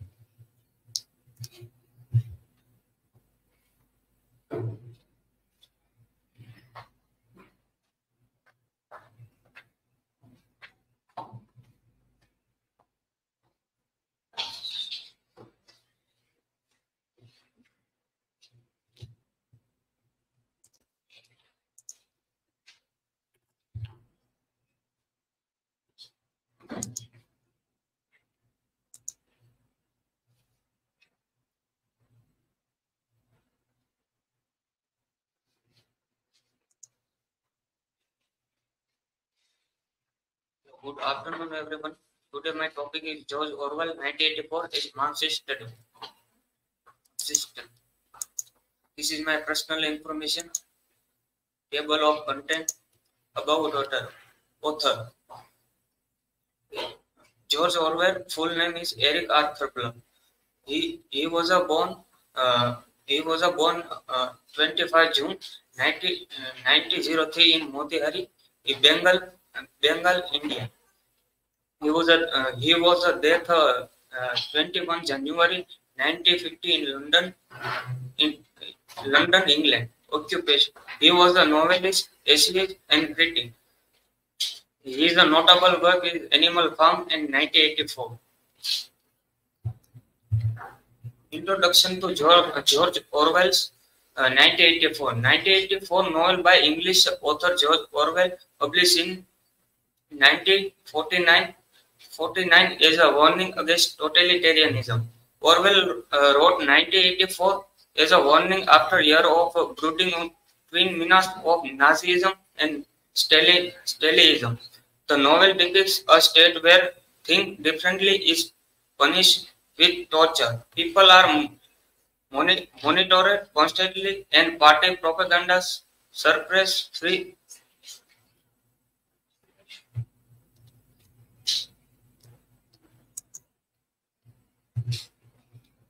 People are monitored constantly and party propaganda su- suppress free speech and thought. Winston symbolized civil, uh, civilized value and his defeat highlight their vulnerability in the face of powerful state. Overview of Marxism. Marxism. Historical concept. Marxism is body of uh, doc- doctrine developed by Karl Marx and it later action by Friedrich, Friedrich Engels in the mid 19th century. It originally constituted three related ideas: a philosophical anthropology, a theory of history, history, and an economic and political program. Core concept. Marxism is a socio-economic theory emphasizing the struggle between ruling class and working class. Ideological im- impact. Marxist, Marxist theory have significant, significantly influenced political, politics, economics, and social movement worldwide. Brief overview Marxist ideology, historical materialism, the view that the material condition and economic activity of society shape the uh, its politic, political, social, and inte- intellectual life over time. Class uh, class struggle. The idea that human society are fundamentally divided into two classes: the bourgeois and uh, proletarian. These classes have inherently conflict uh, conflict interests which lead to uh, class struggle. Surplus value. Surplus value. Marx argued that capi- capitalists exploit work, uh, worker by paying them less less than the full value their labor creates. Extracting surplus value from the their work. Criticism of capitalism. Marx was highly critic, critical of capi- capitalism, which he saw is a exploitative economic system that uh, concentrate power and wealth in the hands of bourgeois, bourgeois the expense of worker. George Orwell's novel 1984 through Marxist land. Oceania society reflects Marxist class division, uh, ruling middle and uh, proles. It, proles is a working class. Wish, wish, Winston's hope for closed revolt mirrors Marxist proletarian revolution ideals. Novel suggests proles lack capital, uh, cap, capability or conscious, consciousness to effect, effectively revolt challenging Marxist theory. Goldstein manifesto manifesto advocate for soci, socialist ideals against party authoritarianism. Marx, Marxist solution like appropriation, appropriation of the production and elimination of private property are presented. Marxist theme in 1984, sur, uh, surveillance state. 1984 showcased the omnipresent surveillance reflecting, reflecting Ma- Marxist critique state control over ci- citizen, news manipul- manipulation. Or- Orwell's work highlight propaganda, propaganda and media, media manipulation, uh, alleging with the Marxist view on information control. Socialism, socialism and communism critique. Over Orwell critique the totalitarian regime and distort, distort the socialist and communist ideal under the party group Oceania. The party represents a perversion of the socialist revolution, exploiting the masses in- instant, liberating them. Relevance to contemporary society. 1984 to today one. We can see echoes of Orwell's thing in modern surveillance, government control, and manipulation of tools. Marxist analysis today. By using Marxist idea, we can better understand issue like uh, wealth inequality, inequality, power imbalance, and social movement fighting for change. Understanding power and inequality. Mar- Marxism help, helps us see how some group how hold power and wealth while others struggle. It also highlights how system maintain these inequalities. Conclusion. In summary, 1984 by George Orwell speak a volume about the dangerous power abuse and lost person freedom. Looking through Marxist lens, we have seen how its theme resource in today world, like surveillance, inequality, and resistance. By un- understanding how power, economic, and social structure intertwine, we are better equipped to challenge injustice and strive for fairer society. This is my re- resource. Thank you.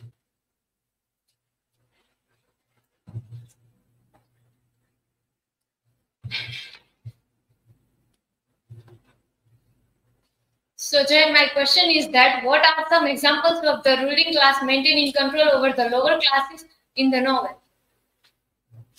The ruling ruling class maintaining control over uh, like uh, constantly uh, manipulation, um, constantly manip- manipulation and, and uh, uh, authority of surveillance through through ruling class maintain um, maintain control over lower class.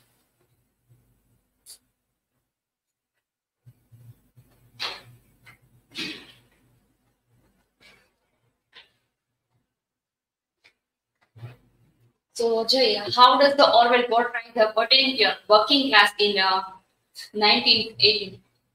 In, in 1984, uh, uh, Orwell portrayed the proletariat, proletariat in uh, uh, is uh, surveillance and menu, menu surveillance and uh, party ru- ruling through through or through portray the working class. Thank you.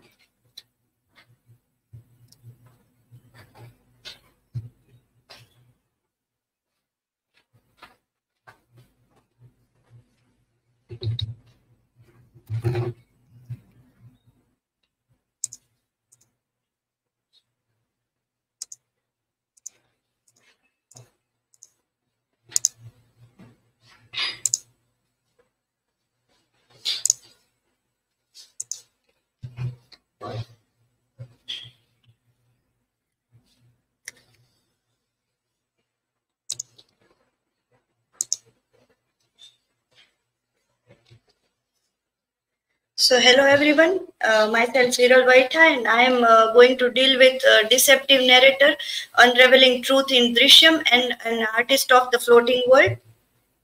So these are uh, my personal information, uh, table of content. And first of all, I, I will start with introduction. I asked ChatGPT to introdu- introduce this both character in a very well manner. So ChatGPT give me this answer like uh, meet uh, Vijay Salgaonkar, a, hum, humble uh, cable operator with remarkable talent or navigating moral ambiguity. Enter the world of Masuji Ono, an esteemed Japanese artist and uh, haunted by the shadow of his past. Uh, Vijay, a devoted family man willing to bend the truth to protect those he loves.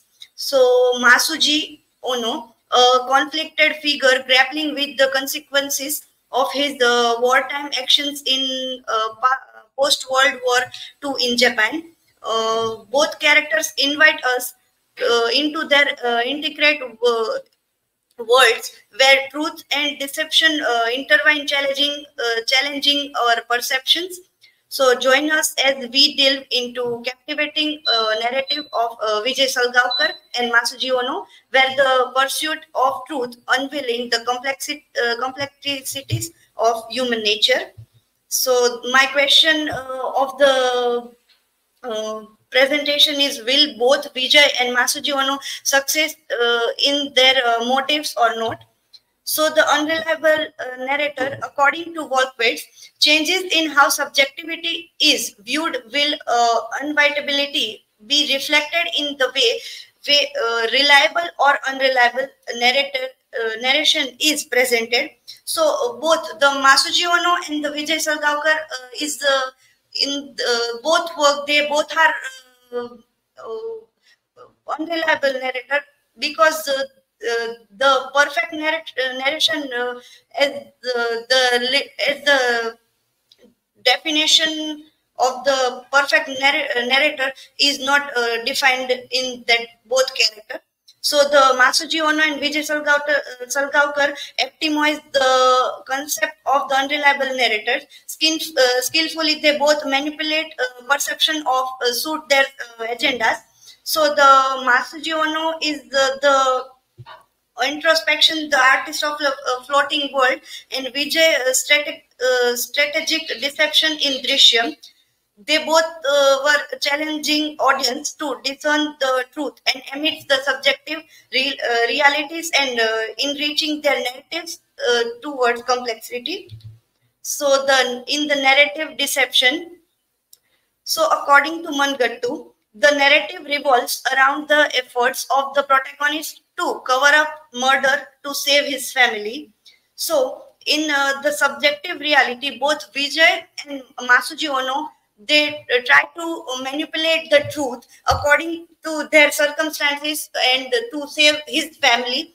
So in uh, moral ambiguity they, bo- uh, they both uh, uh, create blur line between the truth and the the hidden manner so in the narrative control they uh, both uh, shape events to their version of reality. In the cultural context Vijay navigates the rural India of uh, Goa and uh, Ono grapples with uh, post-World War II in Japan, family loyalty, both uh, prioritize his family and he wants to uh, save his family at anyhow. Uh, challenges in uh, perspection, uh, audience question truth and emits their deceptive narrative, uh, narratives.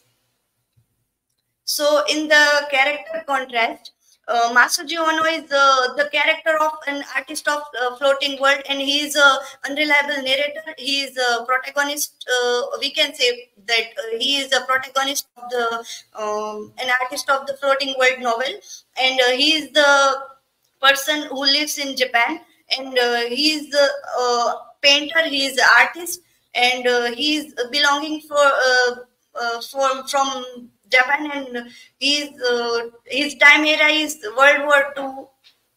So Vijay uh, Salgaonkar is the cable operator in uh, rural Goa, and Ono was a protagonist and artist, where the Salgaonkar is the modest life. Both prioritize his family and the crisis. Differently, uh, Ono reflects the Salgaonkar acts uh, Ono is uh, uh, depicted in a literary novel and uh, Salgaonkar is portrayed visual in a film.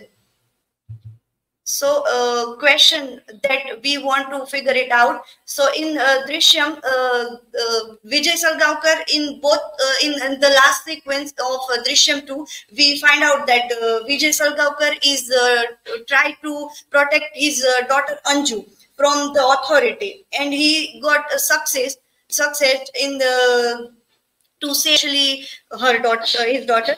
So in uh, the novel, in the same manner, uh, the motive of Masuji Ono to hide the truth is that uh, he wants to uh, marry his uh, older daughter Noriko, uh, sorry, younger daughter Noriko, and he got success in that motive.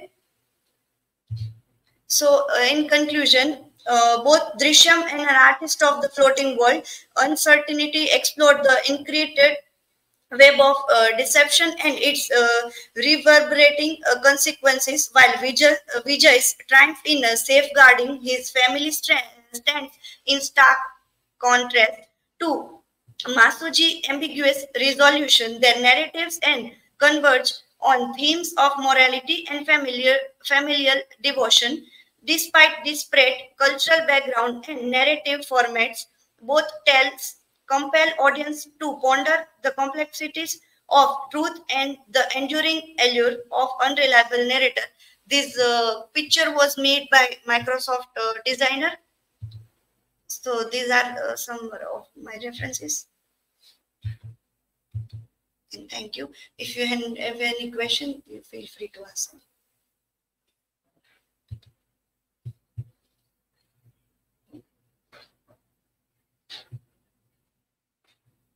So, Hiral, as you said that the theme of guilt is important in uh, an artist of the floating world.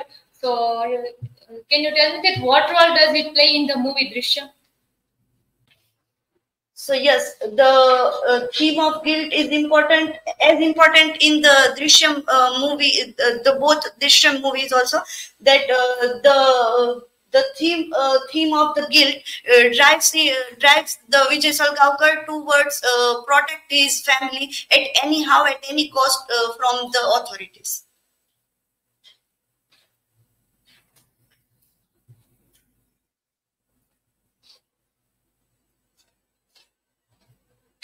So here my question is many times in the novel Masuji Ono accept that he is not telling the reader the complete truth truth or that he is, he is mistaken or does not re remember the event properly. So uh, yes, uh, in uh, as like uh, Masuji Ono, uh, Vijay Salgaonkar also pretend in the both movie that he he don't remember uh, he doesn't remember the past and suddenly he, he gone in that uh, flashback and suddenly he come in the present. So uh, as like Masuji Ono, uh, Vijay Salgaonkar also act like that. Thank you.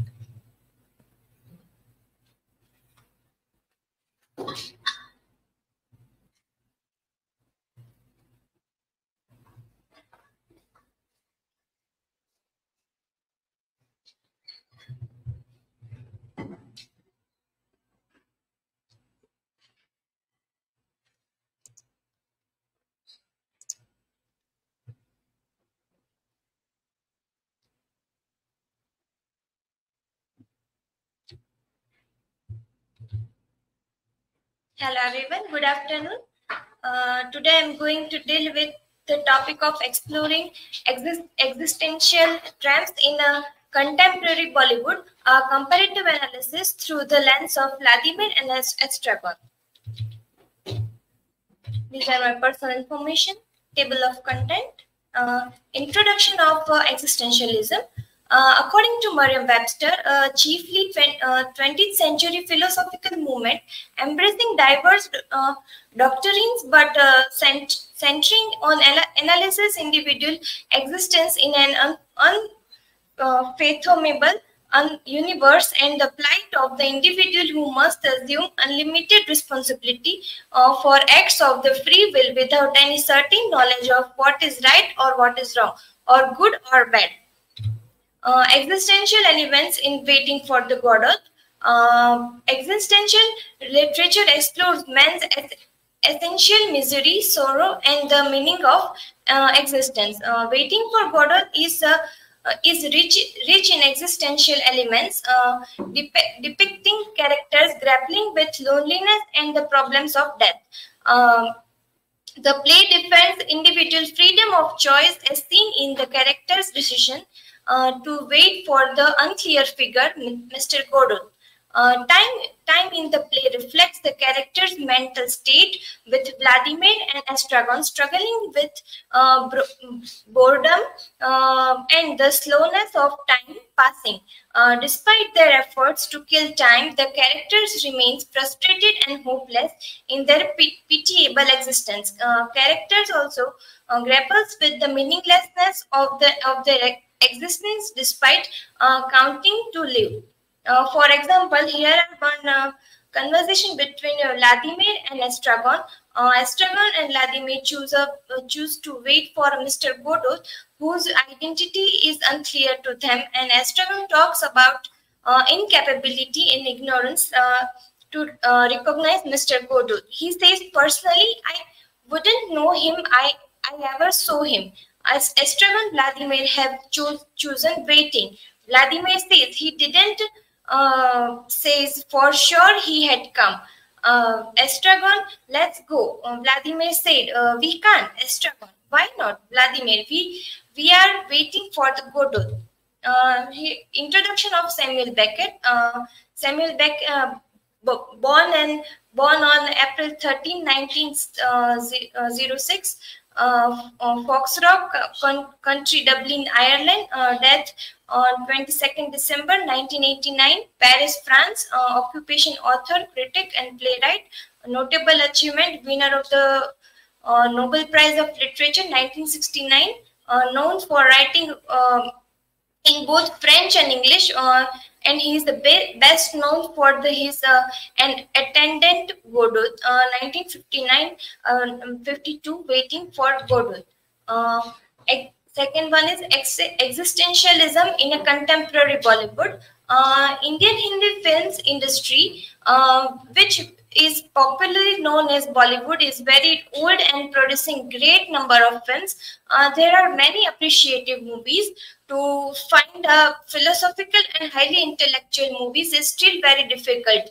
Uh, existentialism is a modern foreign concept. So Indian movies representing this concept are rare and unique.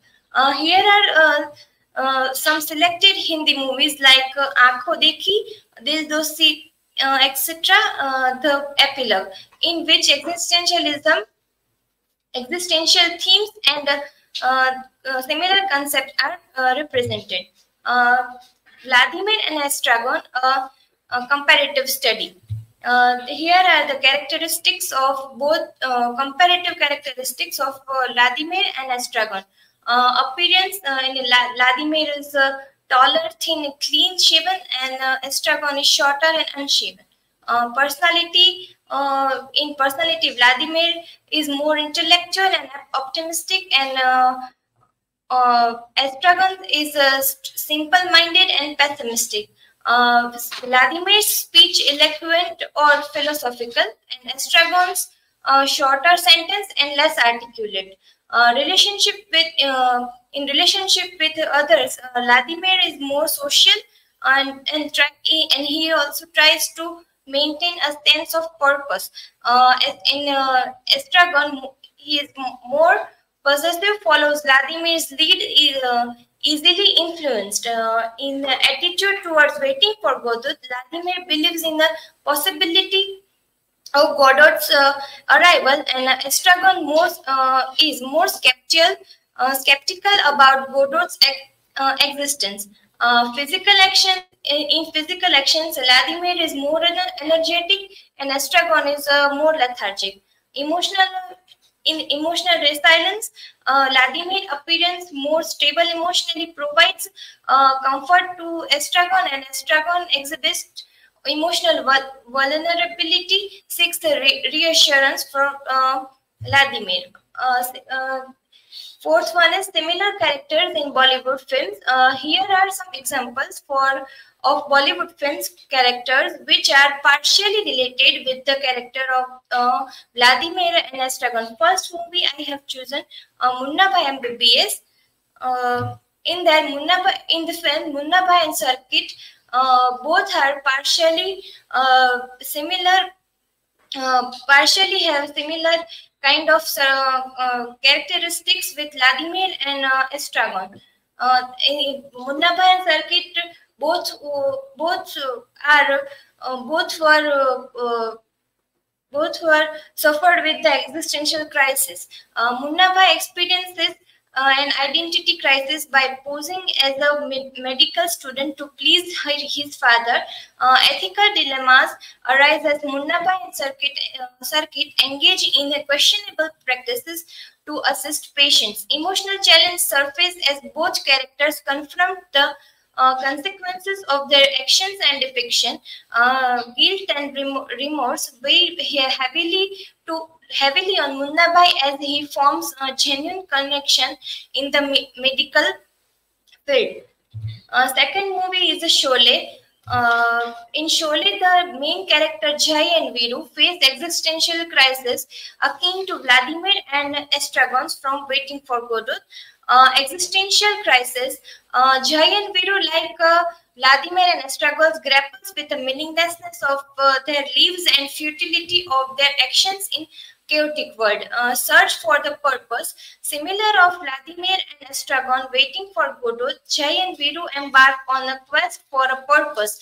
Whatever it's, um, it's in their friendship, their adventures, or uh, their ev eventual confrontation, uh, confrontation with the uh, antagonist. Uh, isolation and despair. Uh, both pairs experience moments uh, for isolation and despair uh, and also questioning uh, their choice and inevitability uh, of their faith. Uh, bond of friendship, uh, despite their existential struggles, Jai and Viru, like Vladimir and Estragon, finds a solace and strength in the in their deep bond of friendship, and which and which becomes a central pillar in the in their journey in uh, conclusion, we can say that um, Bollywood characters like uh, Munna Bhai Circuit, uh, Jai and Viru mirrors the Samuel Beckett's uh, archetypes, uh, embodying existential themes amid social, societal constraints, and they also navigate life's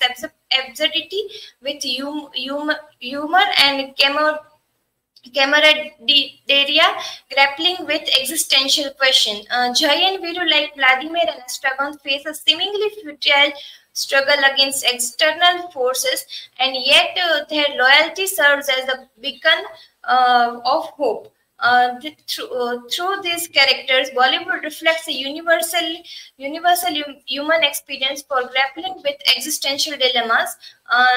The comparison sheds light, uh, light on the enduring relevance of existential theme in contemporary cinema, offering audience a lens for a contemplating the human condition. Here are my references and thank you. If you have any questions, you can feel free to ask.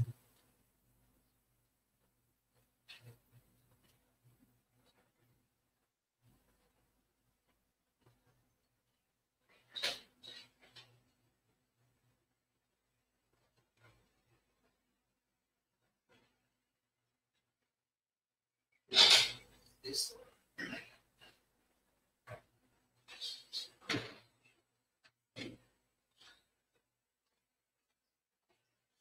so my question is how does waiting for godot demonstrate existential themes uh, waiting for godot demonstrate existential themes like uh, absurdity in uh, absurdity in their uh, both characters life meaninglessness and uh, so on.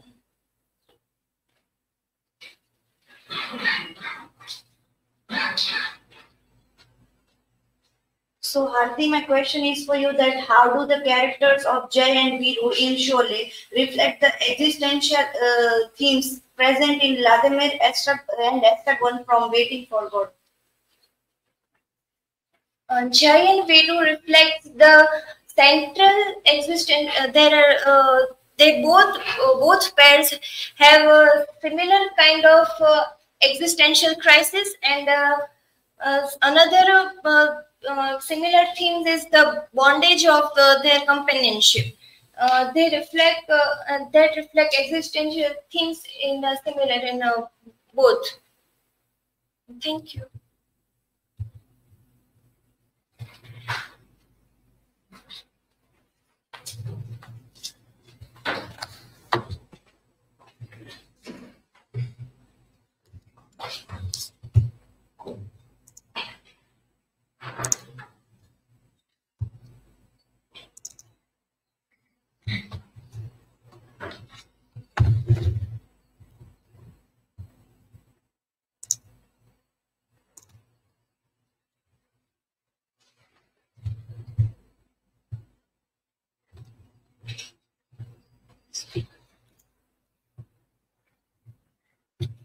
Hello, I am Dhatri Parmar and today's my topic of presentation is Man or Manufacture, Redefining Humanities Through Biopunk Narratives.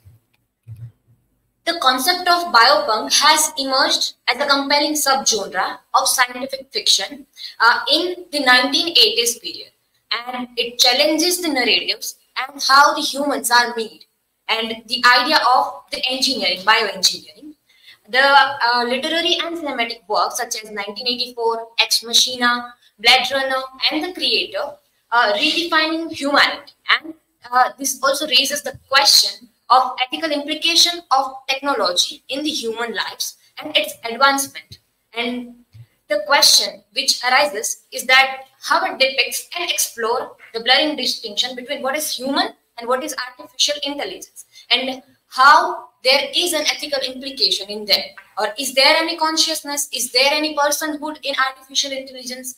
That is the question is raised by that. So first of all what is cyberpunk? Uh, cyberpunk emerged as a, in early 1980s as a postmodern genre and it re, uh, represents the virtual reality where the computers and uh, the surveillance and all would be there. And in that case the biopunk has emerged uh, within this genre. And biopunk includes biohackers, biotech, and mega corporation and oppressive government. And it also based on the DNA idea. It also explored the darker side of the bioengineering. Um, by, if we define biopunk, then with the pro, uh, project, Genome Project, uh, by the Francis S. Collins, uh, during the 1990s to 2003, he researched upon the human DNA and through the that human DNA, he uh, tried to uh, give this uh, summary about how the human DNA works. He defined the DNA, like how the human behavior is uh, shaped. In uh, with this uh, project, there is the emergence of a biopunk genre. The it talks about the liquid modernity in the postmodern time. There we cannot define the modernity in that case the behavior of human uh, everything is very fluid like a water. So we cannot define anything particular. And if we talk about the key themes then it talks about human enhancement bioengineering and corporate control among the society. And this also uh, challenges the narrative that how can we define human in this case? Um, this translation to cyberpunk to biopunk is uh, moreover cyberpunk is uh, based upon the computer and corporate world.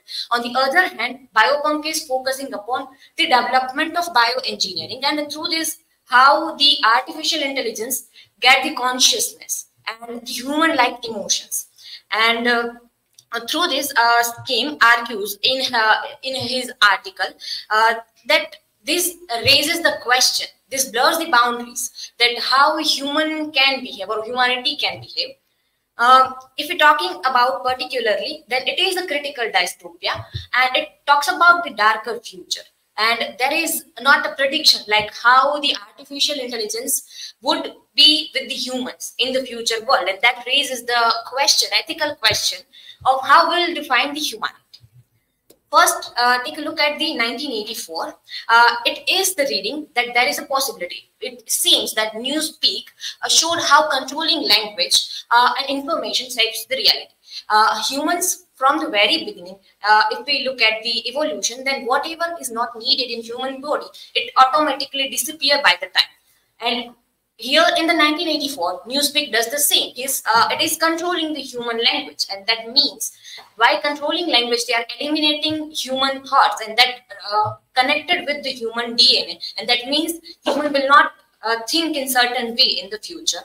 Uh, another thing is. Um, or party's propaganda can be uh, metaphorically uh, considered as a re-engineering like they are uh, giving certain kinds of thoughts to the people now they are uh, doing a kind of an, uh, a practice with the human dna in that way they are controlling the human mind and that basically leads to the bioengineering part of the human Another is a modification of the language. Similarly, a language is connected with the mind and that basically connected with mind.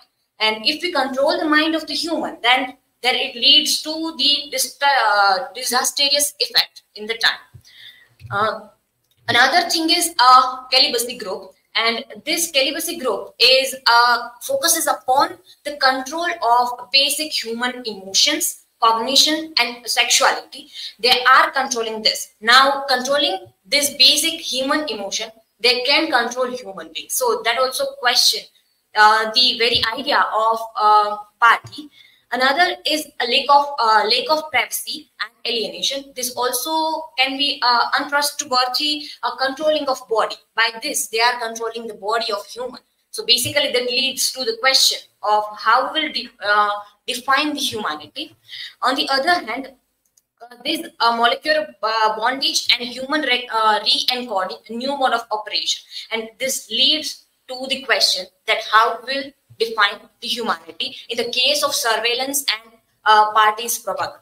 Another example is Blade Runner movie of 1982, uh, which is uh, a, central example of that. And if we talk about the central conflict in the Blade Runner, then it is about the making of replicants, uh, which is actually based uh, made by the human body's different parts, and it is not a human.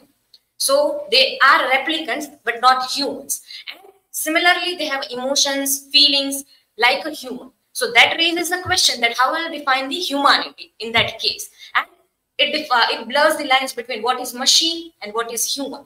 And uh, this also uh, leads to the ethical question that should replicants have rights? Uh, is their lifespan uh, a form of a slavery? Like they had only seven to eight years of a lifespan, and within that they will die. And now the basic central question in the movie is that they want to live more. And that is why they are protesting against their maker. So is there a question, ethical question raises that uh, should there is a space for a replicants in the society? So, and another thing in the movie is that the black market of organs. So uh, the people in this uh, Blade Runner uh, society, they are doing the black marketing of human eyes, human mind, human body. They are doing black market. Now, this also raises the question that how we will make uh, replicants and humans in future as well. Another uh, stark example is Ex Machina movie. Uh, basically, this movie is uh, uh centered upon the robot artificial intelligence uh, reflected in this uh, image named Eva. it is made by the Nathan. He's its creator. He's a very smart guy and he's preparing Eva as a part of his uh, research that should human have a consciousness. So he gave, uh, he gave the emotions, feelings, even sexuality to the Eva. So if the Eva comes uh, uh, in front of us as a human, then we are not able to uh, disparate that she is a girl or an artificial intelligence. So his basic project is that he wants to give the consciousness. Now this leads to the question that if it has a consciousness, then it has emotion. So how will we define the humanity is this with this? And there is a, a, a kind of an uh, research. So Nathan, basically creator of Eva, uh, called the uh, Caleb, another human being, and he uh, told him that you have to develop a relationship with the Eva, uh, sorry, Eva, for I want to know how Eva works in that case. So he manipulated even Caleb for that. So and yeah, the the thing is that Eva has emotion. So she is developing relationship with Caleb and manipulating Caleb, and she uh, tried to betray him for going outside of his house. So she is captured in his house, but she goes away, uh, putting Caleb in the house, uh, like uh, in jail, and she went up. So now this leads, she has emotion, she has, she is the girl like a figure, but she is going away without uh, thinking about the Caleb who helps her to escape from that. So now this leads to the question that if we give the consciousness to the artificial intelligence, then how far it will be a dangerous to humans, like they are not taking care of humans in that case. Uh, third, uh, very recent uh, film uh, based upon is The Creator, which is a sci-fi thriller, and it is a kind of a progressive movie uh, as compared to other uh, examples. So there is an AI-created US uh, detonates a nuclear bomb, and it is uh, situated in 2015. So uh, there is a lots of artificial intelligence named as a simulants, and they are living with humans very uh, in a kind of a friendly atmosphere. And there are they are made a weapon, uh, and that weapon destroyed the area where simulants were receiving. So be because they thought that there is a dangerous because of that. They are making uh, humans life in they put humans life in danger. In that case, uh, the Nirmata is the creator of these simulants, and Nirmata creates the weapon named uh, Alpha O. Uh, the uh, the figure is reflected in the downstairs that a photo that in the Alpha O, which is a she robot, and she named as Alfie in the movie, and she is made as a weapon, weapon to destruct the weapon of the humans, which is made for destruct the uh, simulants. So this now weaponization is a kind of a question that if the Alpha O, the weapons the US fears, is likely a bioengineered entity. And uh, Alpha, if we look at the, without having the outlook of the uh, Alpha O, like alpha if we look at directly to alpha emotions, then it has similar emotions to human. Now that also leads to the question. Uh, the uh, film captures very well uh, coexistence of uh, simulants and humans. They are a part and parcel of their lives, and they they are uh, living very happily with the simulants, and even simulants are uh, protecting humans. Still, the organization authority is wants to wipe away the all the uh, crowd of the simulants. So, this ethical question of AI that uh, Alpha Alfie has emotional depth, and it challenges the human that if uh, the protagonist of our uh, movie is too much connected with the now it uh, has the emotional depth and that leads to the question that if simulants have this much of emotions then how could we coexist together um, the danger is bio warfare. The film's central conflict originates from devastating nuclear detonation by an AI, and the if the bioengineered weapons falls in a wrong hands, then it couldn't be turned into disaster. But if it falls in a right hand, then there is a coexistence of man and machine. So in conclusion, the bio, uh, bioengineering narratives or biopunk narratives uh, raises the question of complexity and ethical uh, implication of AI in human life. But the progressive side of it is it can create utopia for human while their coexistence, like AI and uh, humans uh, coexistence, and they can tackle the challenges. They can pushing the boundaries of medical, and they work on that field, and they can connect the deeper emotions with human. They can create your community like artificial intelligence and human and within near future artificial intelligence going to be a part of our life as robots and uh, which is shown in the movie like Ex Machina and uh, showing in this creator web series uh, movie. So we have to accept the artificial intelligence in that case as a, a part of our life and we have a hope in our mind that we will coexist together as a community. So uh, AI becomes a tool for good, shaping a future where humanity and technology can thrive together. Uh, this is my references, and thank you. Now, if you have any question, feel free to ask.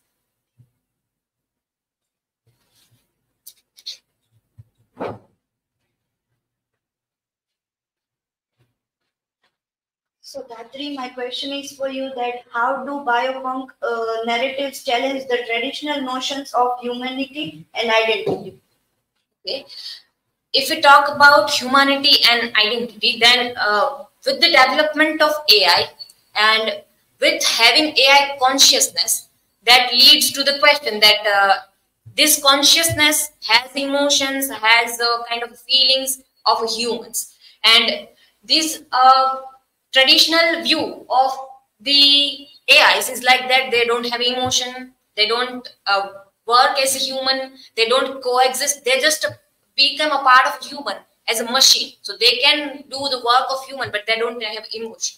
Now with the emergence of this artificial intelligence, uh, there is a possibilities of having the human emotions. And if we're talking about particularly a biopunk genre, then biopunk genre is raising awareness. However, it uh, showcases the destructive side. So it uh, also create awareness among the humans that we have to always think about the what is the uh, darker side of the AI. We have to keep in mind, and with that things, we have to be progressive in the case of AI and all. So this biopunk, in that way, um, challenges the traditional role.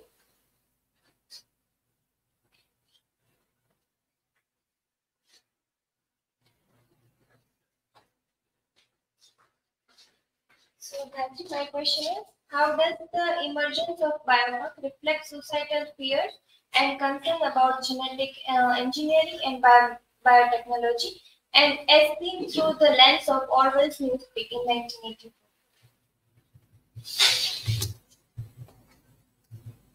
So the basically biopunk genre developed in 1980s. So it is very recent in that case. Uh, we are looking at the 1984 and Newspeak as a part of biopunk, and it is a kind of one reading. We are doing that, and if we look at about the societal fear that reflects in nowadays, whatever the biopunk narratives are coming, they are uh, focusing upon the social concern that uh, uh, there are in the movies also they are showing that there is a fear that like in Ex Machina, Eva, however, after completing her uh, aim of uh, going out of the house, uh, she is not taking care of Caleb and she is leaving him eh, for uh, being dead. So now that raises the question, and this also uh, show the uh, societal fear that uh, we have to be careful while making this uh, kind of an artificial intelligence, and we have to think about ethical implication in that case.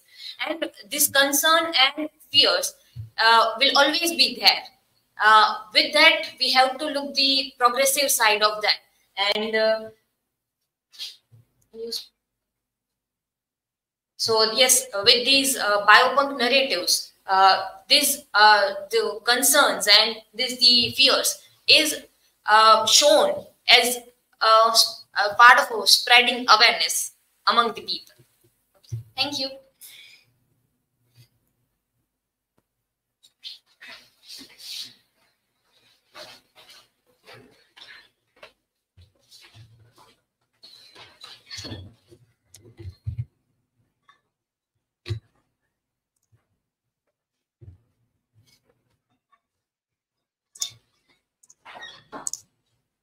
Hello,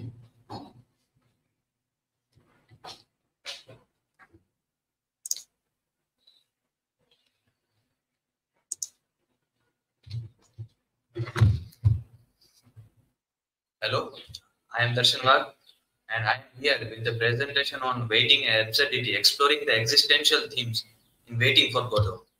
This is my personal information. So, Waiting for Godot is a masterful work of Samuel Beckett, who is an uh, Irish playwright, and uh, he won Nobel Prize. And Waiting for Godot was first premiered in 1953, in which the main characters, two main characters, were Vladimir and Estragon, aimlessly waiting for Godot, a mysterious figure who never arrives. So the thoughts in uh, existential thoughts in the play. So the play is full of existential uh, uh, elements. The play explores the themes of uh, nothingness, despair, and struggle for existence.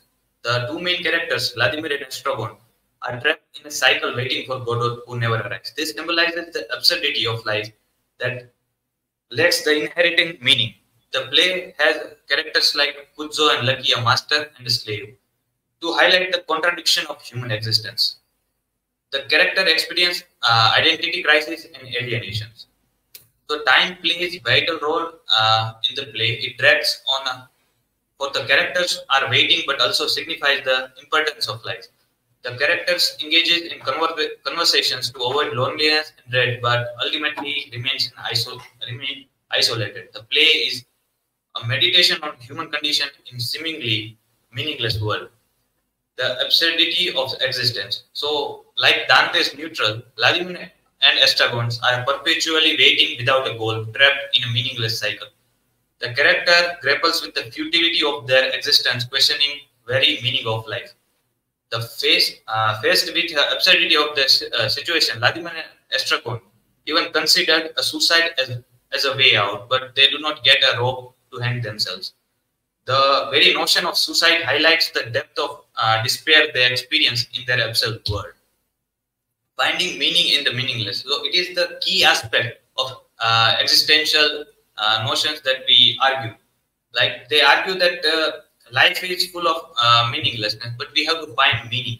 Like they say, the uh, process of womb to tomb, it is all uh, meaningless. Like any, oh, any action of ours is meaningless, whether this is whether it is presentation or giving peer evolution or even getting a job. Everything is meaningless. Every action of ours is meaningless, but we have to find meaning in it. So, for further exploration, I will uh, try to get uh, notions from uh, the psychological essay from Camus, uh, Myth of Sisyphus. So just like Sisyphus, forever condemned to push a boulder uphill, represent an apparently pointless activity, but he finds meaning in it. Uh, similar to uh, the waiting for Godot, Vladimir and Estragons find meaning in their persistent waiting for Godot, Godot even, to, even though his arrival is uncertain.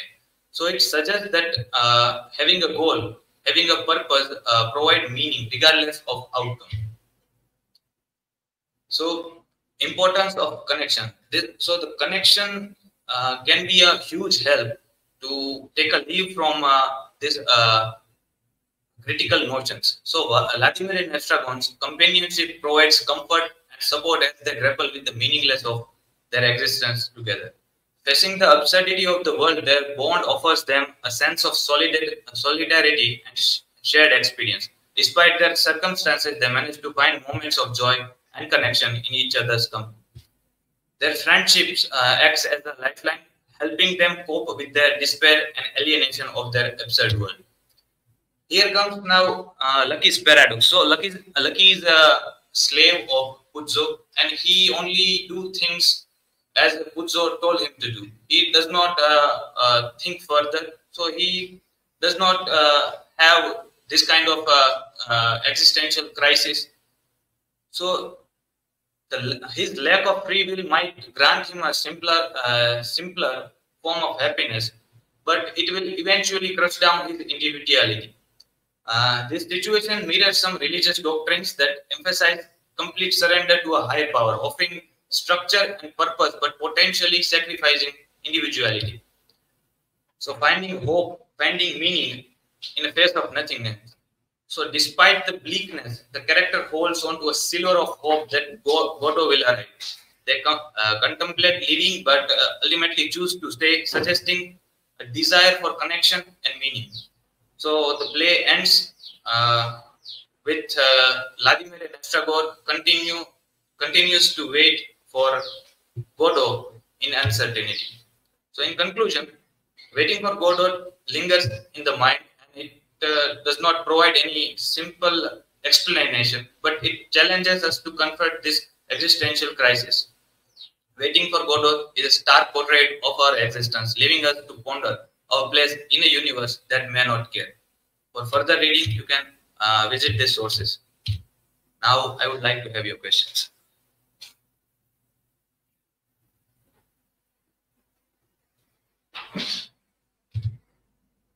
Darshan, my question is for you. You are comparing lucky with religious surrender. How far is it justifiable to escape from taking responsibility for your own actions? Uh, according to me, it is not justifiable at all. But uh, people can have uh, other interpretations. But uh, for uh, my end, it is not justifiable. Justifiable. It would be better if everyone would take accountability for their action. It would be. It would create a better world. Next, please.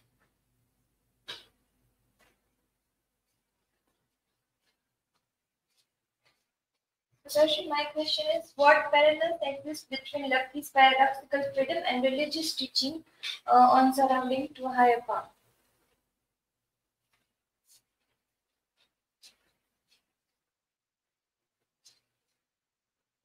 uh, parallel could be uh, the thing that Lucky should. Lucky has brain. He is a human being. He has choice to be himself and not to uh, just rely on a something that uh, by just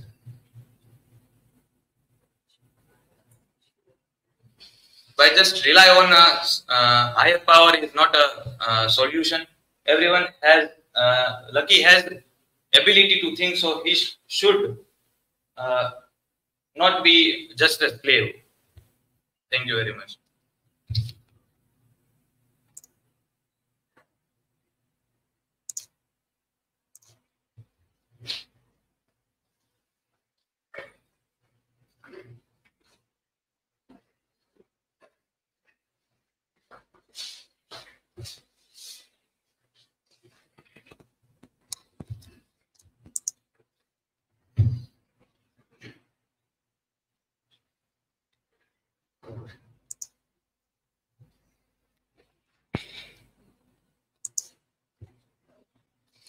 Hello everyone, I am Bhumiba Gohil and today's topic for my presentation is Beyond Humanity, a comparative analysis of dehumanization in dystopian narratives. These are my academic information. So let us begin by understanding what is dystopia. Um, uh, Merriam-Webster's uh, definition of dystopia says that dystopia is an imagined world or society in which people lead wretched, dehumanized, and fearful lives. As you can see, the word dehumanized is present in the very definition of dystopia. So through this presentation, I will try to explore how important is dehumanization in dystopian literature and how it's portrayed by different creators. For my presentation, I have taken the example of 1984 by George Orwell, Brave New World by Aldous Huxley, Handmaid's Tale by Margaret Atwood, and Never Let Me Go by Kazuo Ishiguro. So now let us start by understanding dehumanization. Um, the definition of dehumanization is to deprive someone or something of human qualities, personality, or dignity. Now, Kelman says that dehumanization in dystopian literature showcases the loss of essential human qualities like identity and community. So, through this, we will also see how far his um, definition is right. So, let us begin with 1984. Uh, this is the basic information on the novel. Uh, it is set in the in Oceania, which is a totalitarian state ruled by party and Big Brother. We see a totalitarian government and surveillance on everything and lack of privacy in this. The dehumanizing element um, in this novel, as I said, that there is no privacy. The Big Brother is always watching you. And uh, other than that, we have Newspeak, which is a language manipulating tool. They use opposite words, and uh, like they would say that. Ministry of Peace, and Ministry of Peace is actually military. So in this way, there is language of manipulation, there is thought police. So people don't even have the privacy of their own thought. There is surveillance on everything. There is a hate week, which uh, promotes this mob mentality, mob mentality, where citizens come together and hate on one person, particular person, and this leads to emotional manipulation as well. So we see that propaganda and manipulation of history is a big part of the party in 1984, as the slogan of the party is Who controls the past controls the future. Who controls the present controls the past. And uh, another one is that for who, how could you establish even the most obvious fact when there exists no record outside your own memory? So we see that party manipulates history and makes people forget what really happened. And in this way, uh, um, people are not sure what to think. They don't know what to believe in. And uh, in this way, they are stealing the identity and very freedom to think of people.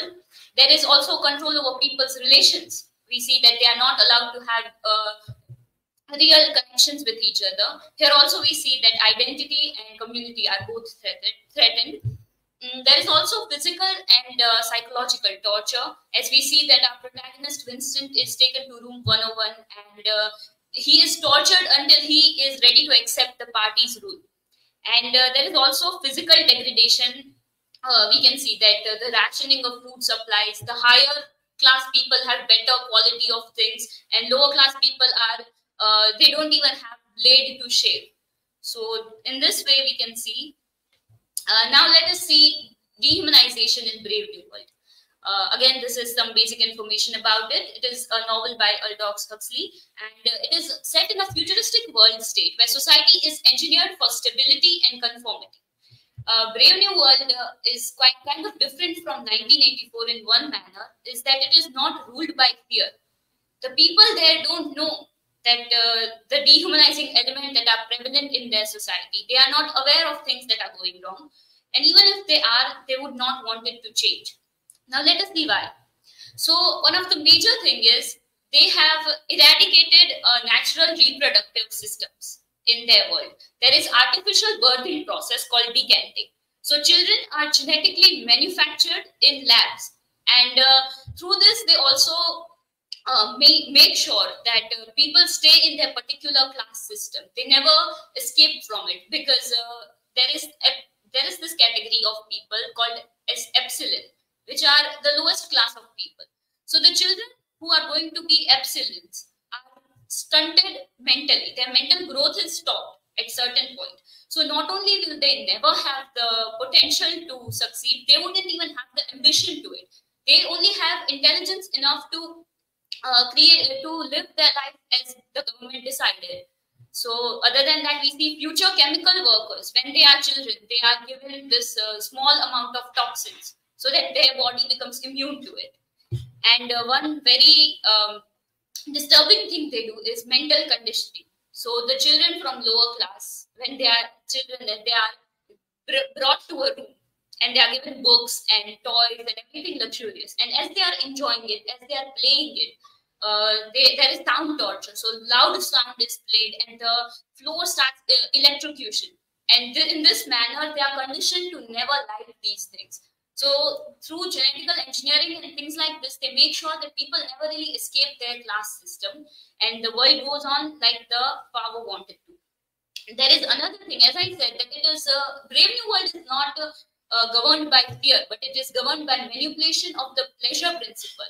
So there is this soma drug. It is said that uh, it, it, it does not really hinder people's uh, thinking process, but it makes them really calm so here uh, there is this uh, exploitation of human beings' desire to be free from struggles. And uh, there is also ban on books that evoke strong emotion. Uh, there is mention of Shakespeare and Tolstoy books that uh, nobody is allowed to read them because they would make people feel things. And uh, so there is a, the government really wants that people don't have strong emotion. And uh, as I said, that uh, because of artificial birthing process, the parent-children uh, relationship is also disturbed very much. And uh, naturally, there is natural living communities in uh, in the villages side, just like in 1984 we have. But here, instead of hiding them, people can go and have a vacation there. and through that they see what ugly life is and in this manner they would feel grateful that they are here oppressed by the government but they don't even know this so in this manner dehumanization is portrayed there. Now let us look at handmaid's tale. This is a novel by margaret atwood and uh, it is based on the republic of gilead. It is basically united states but then it is attacked by sons of joseph group and uh, it is turned into a military society. And uh, one of the biggest things they do there is that women are made the lowest class citizens and they lose complete autonomy over themselves. So women are uh, divided into classes that a few of them can be wives, the commander's wives. And uh, everybody has a particular uh, uniform they have to wear, a particular set of rules they, that they have to follow. Then so there are mostly uh, three kind of groups. One is uh, commanders' wives; they wear blue clothes. Then we have uh, handmaids who are made to wear this uniform, uh, the red one. And then we have Marthas as well, who are like workers and cooks and servants, and they are made to wear green. And through this uh, basic human rights of uh, women are taken away. They are not allowed to have money or property. They are not allowed to read or write. Uh, not only that, they are not allowed to talk to each other. The handmaids, especially, are not allowed to talk to each other or have friendships or have any kind of community. Uh, the Gilead rigorously suppresses two key feelings for the handmaids the desire to talk freely and openly, and the hunger to commit the act of touch. So, as in many other examples, the human relation and the community is uh, very much restricted here. Here as well, we can see the constant surveillance by regimes called eyes. So, eyes are always on the people, and one wrong move and they will be taken away. Uh, another thing is that their original names of handmaids are taken away from them. So, they use possessive labels like of plus the commander's name, the commander which they belong to. So here we see the objectification of women like that. The narrator of uh, this novel is called Of Fred, of Fred, because she belongs to the commander Fred. And the handmaids are reduced solely for their reproductive capacity. They are seen as this uh, walking wombs and nothing else. Now let us look at dehumanization in Never Let Me Go. Uh, this is a novel by Kazuo Ishiguro, and uh, it is set in uh, England in 20th to early 21st century. And here also, we see the narrator. Our narrator is Kathy, and she is a human clone. So here, people are uh, their clones are made from somebody, some higher class people, and the entire purpose of a clone's life is to give their valuable organs to that person until they die. So here we see that their lives are predetermined and their sole purpose is of becoming organ donors. And uh, the word death or dying is not used as well. They use the word complete as if it was a mission and that was their entire purpose.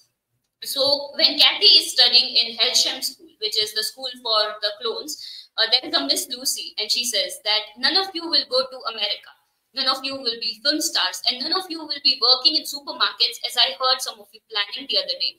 Your lives are set out for you. You'll become adults. Then, before you're old, before you are even middle aged, you'll start to donate your vital organs. That's what each of you was created to do. So, here we also see that the identity of the person is completely destroyed. They are not allowed to do anything else other than being donator, donate, donors of uh, organs. And uh, another thing we see is that the clones are very passive and uncomplaining about this treatment. Even the Kathy, our narrator, is having an empty narration. You don't see an overwhelming amount of sadness in her narration or anything. So this shows that there is also suppression of emotion done here. And their identities are replaced by codes and numbers. And they are treated like animals bred for productive purposes only. Their entire purpose, as I said, that is to give organs, and they are not allowed to have any sort of future. Uh, so now let us see some similarities and differences between them. Uh, some of the major similarities are loss of autonomy. People don't have control over their own body, their own mind, and cannot think for themselves. There is also suppression of emotion. They cannot describe it and uh, what they are feeling, or they are sometimes not allowed to. So in 1984, we see that uh, people are always monitoring the face. So even if you have a strong emotion and it shows on your face, then it is called a thought crime. Uh, in uh, Handmaid's Tale as well, this is seen that uh, they are not allowed to talk, they're not allowed to express any sort of emotion. And objectification of people is also seen in all this, that they are treated as mere objects. Handmaids are treated as wombs, and clones are only clones are only uh, useful for organ donations. So, but there are a few differences in this. So 1984 is uh, very much based on psychological manipulation. The dehumanization is done through that. And uh, people are from the very beginning told what to think, what not to think. The history is, as I said, that uh, erased, changed sometimes. The truth is manipulated. So through psychological manipulation, dehumanization is seen in 1984. In Brave New World, we see genetic engineering and how people cannot even think anything different. They cannot escape even if they want. And uh, in Handmaid's Tale, we see strict gender roles and uh, how women are oppressed and dehumanized. In Never Let Me Go, we see subtle exploitation because the clones are the emotion of the clones is suppressed so much that they don't they don't have this desire to rebel.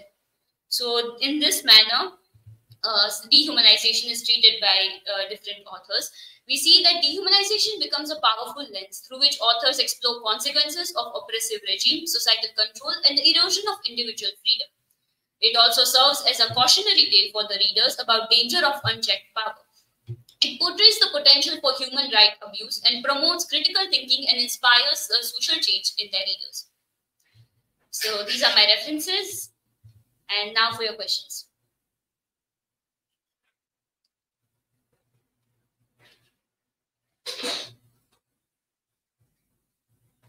So, Bhumi, my question is Do the ending of this novel offer hope into the potential for resistance and resilience in the face of dehumanization? Uh, actually, no. None of these uh, novels offer this over, overwhelming feeling of hope. 1984 ends with uh, Winston uh, changing his own uh, ideas about the party, and whatever streak of rebellion he had was uh, taken out of him, I would say, through psychological torture. In a Brave New World, the people are not aware of this dehumanization, and even if they are, they would not want to escape because the pleasure principle is, uh, as I said, exploited. So they wouldn't even want to change. In Handmaid's Tale, in the ending, we see that uh, because of uh, some crime, the Offred character is uh, taken by the authorities, and she's unsure that what will happen to her. So it also has a bleak ending. And in Never Let Me Go, we see that Kathy, who lives with two of her best friends, Tommy and Ruth, both of them have completed their mission, I would say. And Kathy is waiting for her last organ donation, so she is also going to die. So all of the endings are very bleak, and you don't see much hope in it.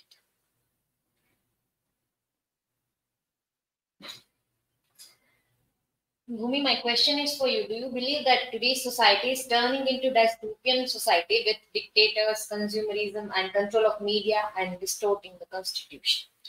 Um, I think it depends on personal perspective.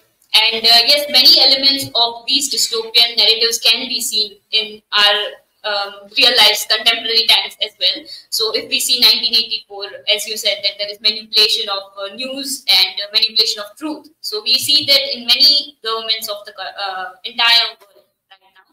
Uh, in uh, one element from Brave New World that we see is the manipulation of pleasure principle, as I said. So we have that in our time as well through social media and easy accessibility to pleasure. Whenever we want to be distracted, it is right there. So people are not uh, promoting critical thinking and instead they are saying that, you know, enjoy your life.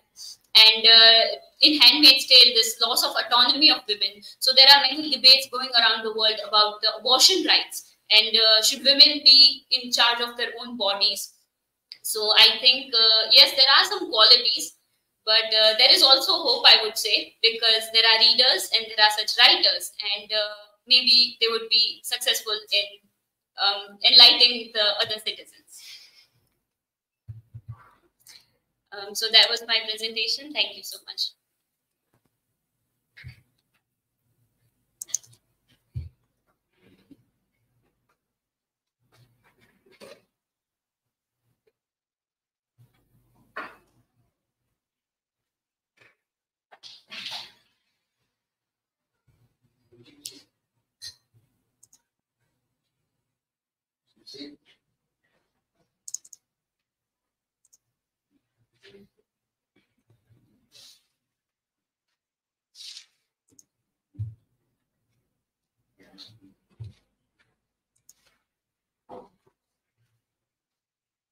Hello everyone, very good good afternoon to everyone. Today I am here with the presentation on narrative techniques in 1984 by George Orwell. So 1984, as we all know, a masterpiece novel by George Orwell. It originally published in uh, 1949 and it is a dystopian novel. Let's see the narrative techniques in the novel. There are two narrative perspectives in the novel by George Orwell. First one is third person limited and second one is first person.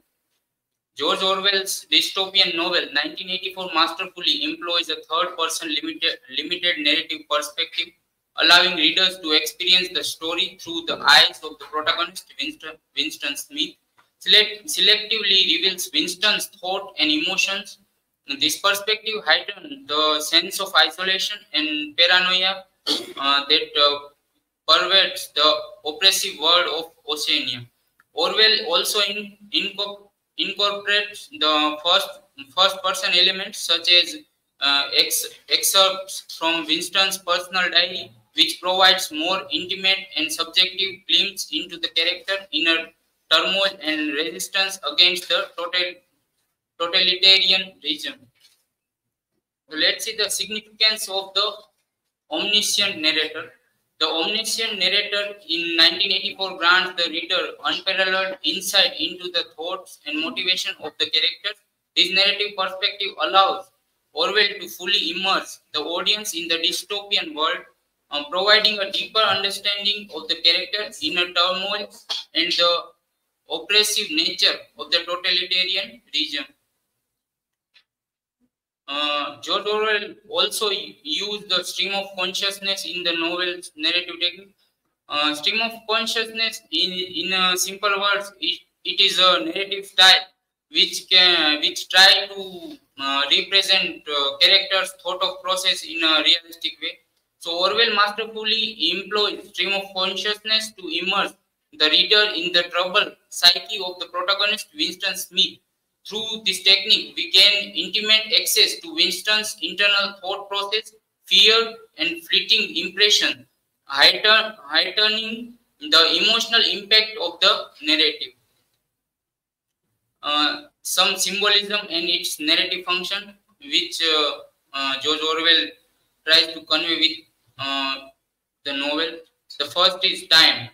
The, uh, the relentless ticking of clock symbolizes the oppression, oppression of the totalitarian region and the protagonist struggle against the inexorable passage of time. Second one is surveillance. Uh, by the surveillance, the ubiquitous Big Brother poster and telescreen represent the omnipresent uh, surveillance and control exerted by the party controlling to the novel novel's dystopian atmosphere. Third one is language. The corruption of language through newspeak symbolizes the party's attempt to control and limit, uh, limit thought, highlighting the power of language and shaping in uh, and shaping and con uh, constraining human experiences. Dystopian world. So, in the Bull novel, uh, George Orwell uh, described the dystopian world uh, with uh, very descriptive descriptive details. In 1984, Orwell uh, meticulously crafts the dystopian world of Oceania through vivid descriptive details from the omnipresent surveillance cameras and slogans of the party to the crumbling urban landscape and oppressive architecture. Every element paints uh, a chilling picture of total, uh, totalitarian control.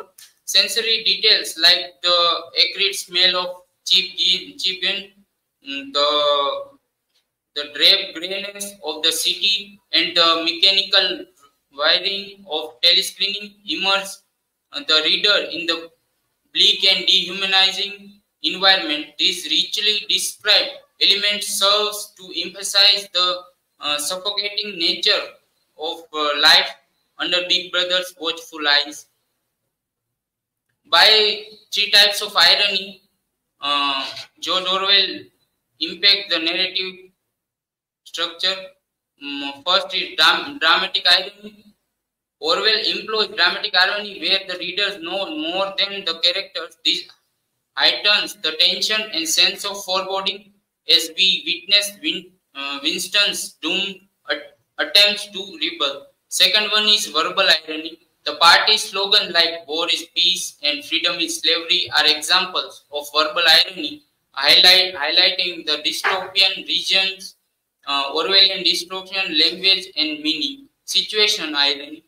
The ironic twist that Winston's uh, thought criminal is forced to work at the Ministry of Truth underscores the dystopian world per, uh, perversion of truth and morality.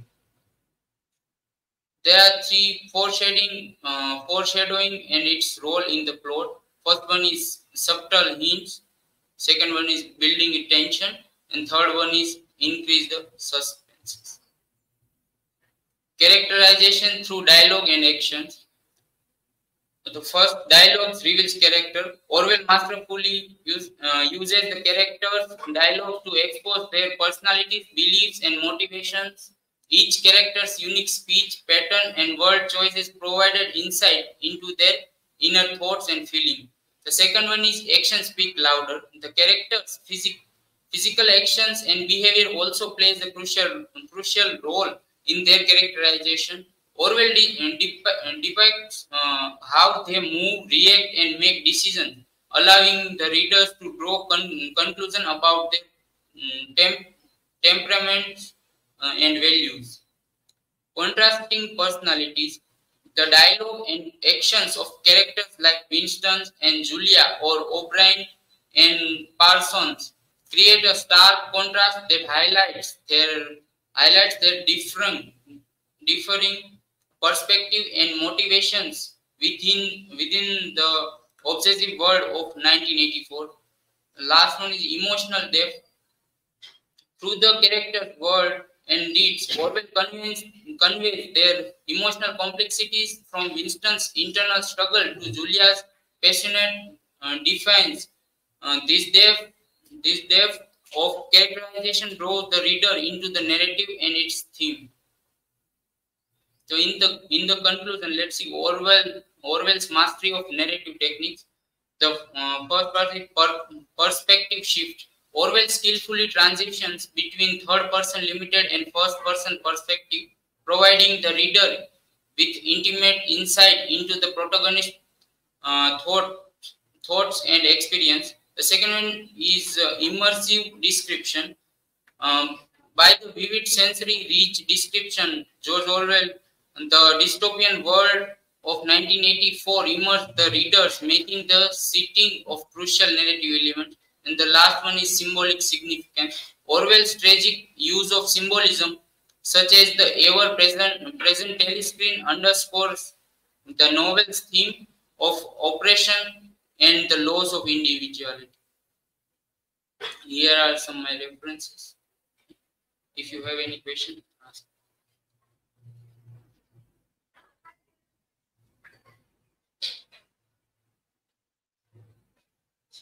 So Akshay, my question is, how does Orwell use the concept of news, uh, newspeak and appendix to enhance the storytelling and world building in 1984?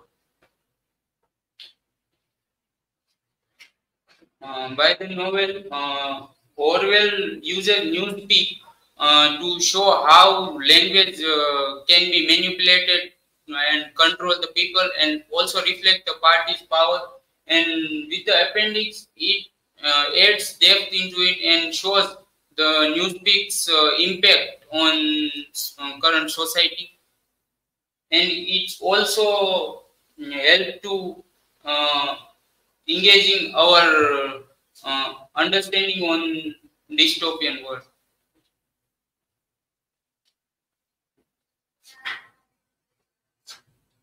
Um, Akshay, my question is how does the structure of 1984 contribute to the novel's themes of surveillance, control, and rebellion?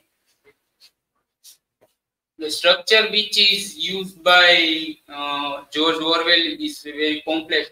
Uh, the structure of 1984 is uh, mirror to the society it's port portrayed and by the constant surveillance uh, on the character it's mirror to the theme of control.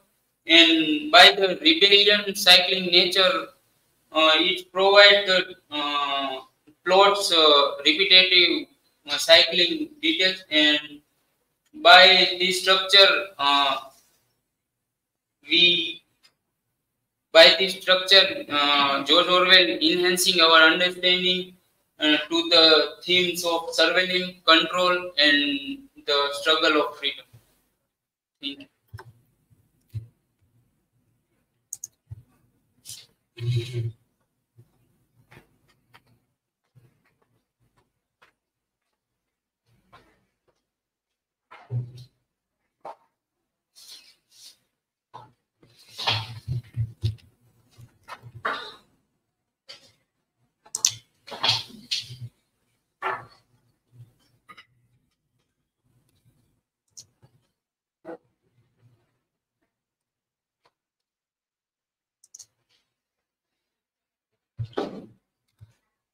good afternoon to everyone. Uh, I am Aakash Chavda and today I will make presentation on uh, exploring the floating world, understanding Edo period Japan. So these are the points to ponder. These these points we will cover in the presentation. Uh, start starting with the ukiyo-e.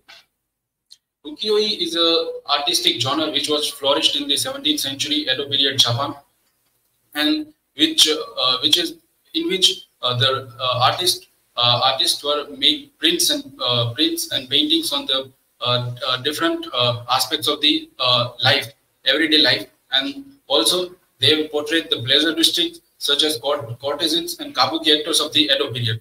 Ukiyo is generally translated into English as the pictures of the floating world and uh, the urban middle class, which was flourished in the 17th century Japan, which was which which which were the merchant class people were known as the chonin, and they were the uh, person of the town and were and they were the primary patrons of the ukiyo-e woodblock prints.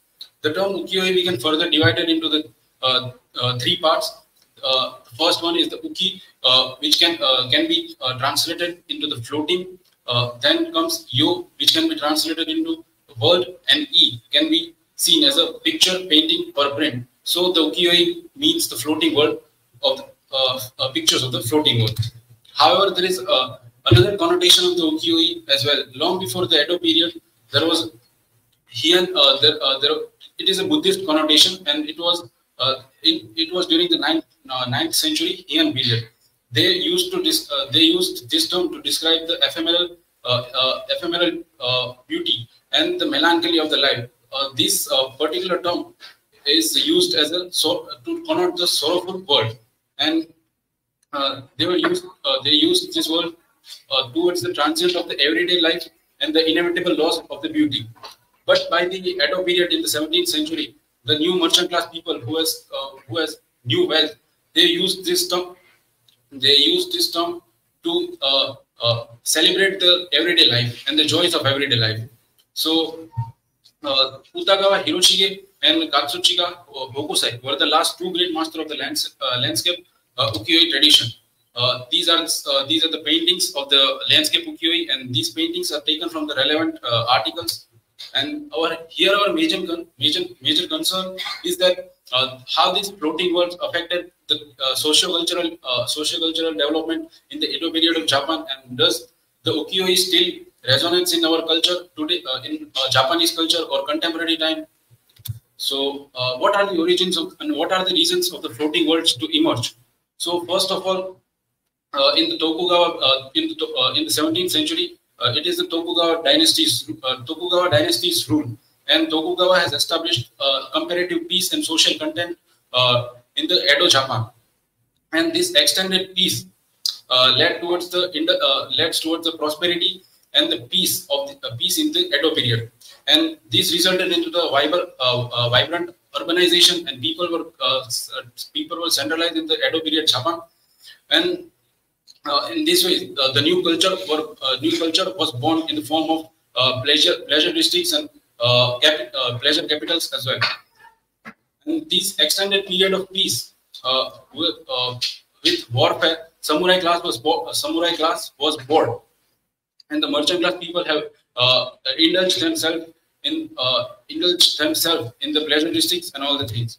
And key elements of the floating world what are the key, key uh, one of the key element is uh, pleasure districts, uh, which is also known as the flower capital, and all the things were the key elements. And there were also Geisha, uh, Geisha and the Kabuki actors were there. Geishas are uh, professional performer, uh, performers in the traditional singing and dancing into the Japan. Uh, unlike uh, other prostitutes, Geisha were not physically uh, physically available to the, their customer. Uh, rather, they uh, in, uh, rather they engage their customer into the intellectual conversation. They flirt with them. They pour tea to them.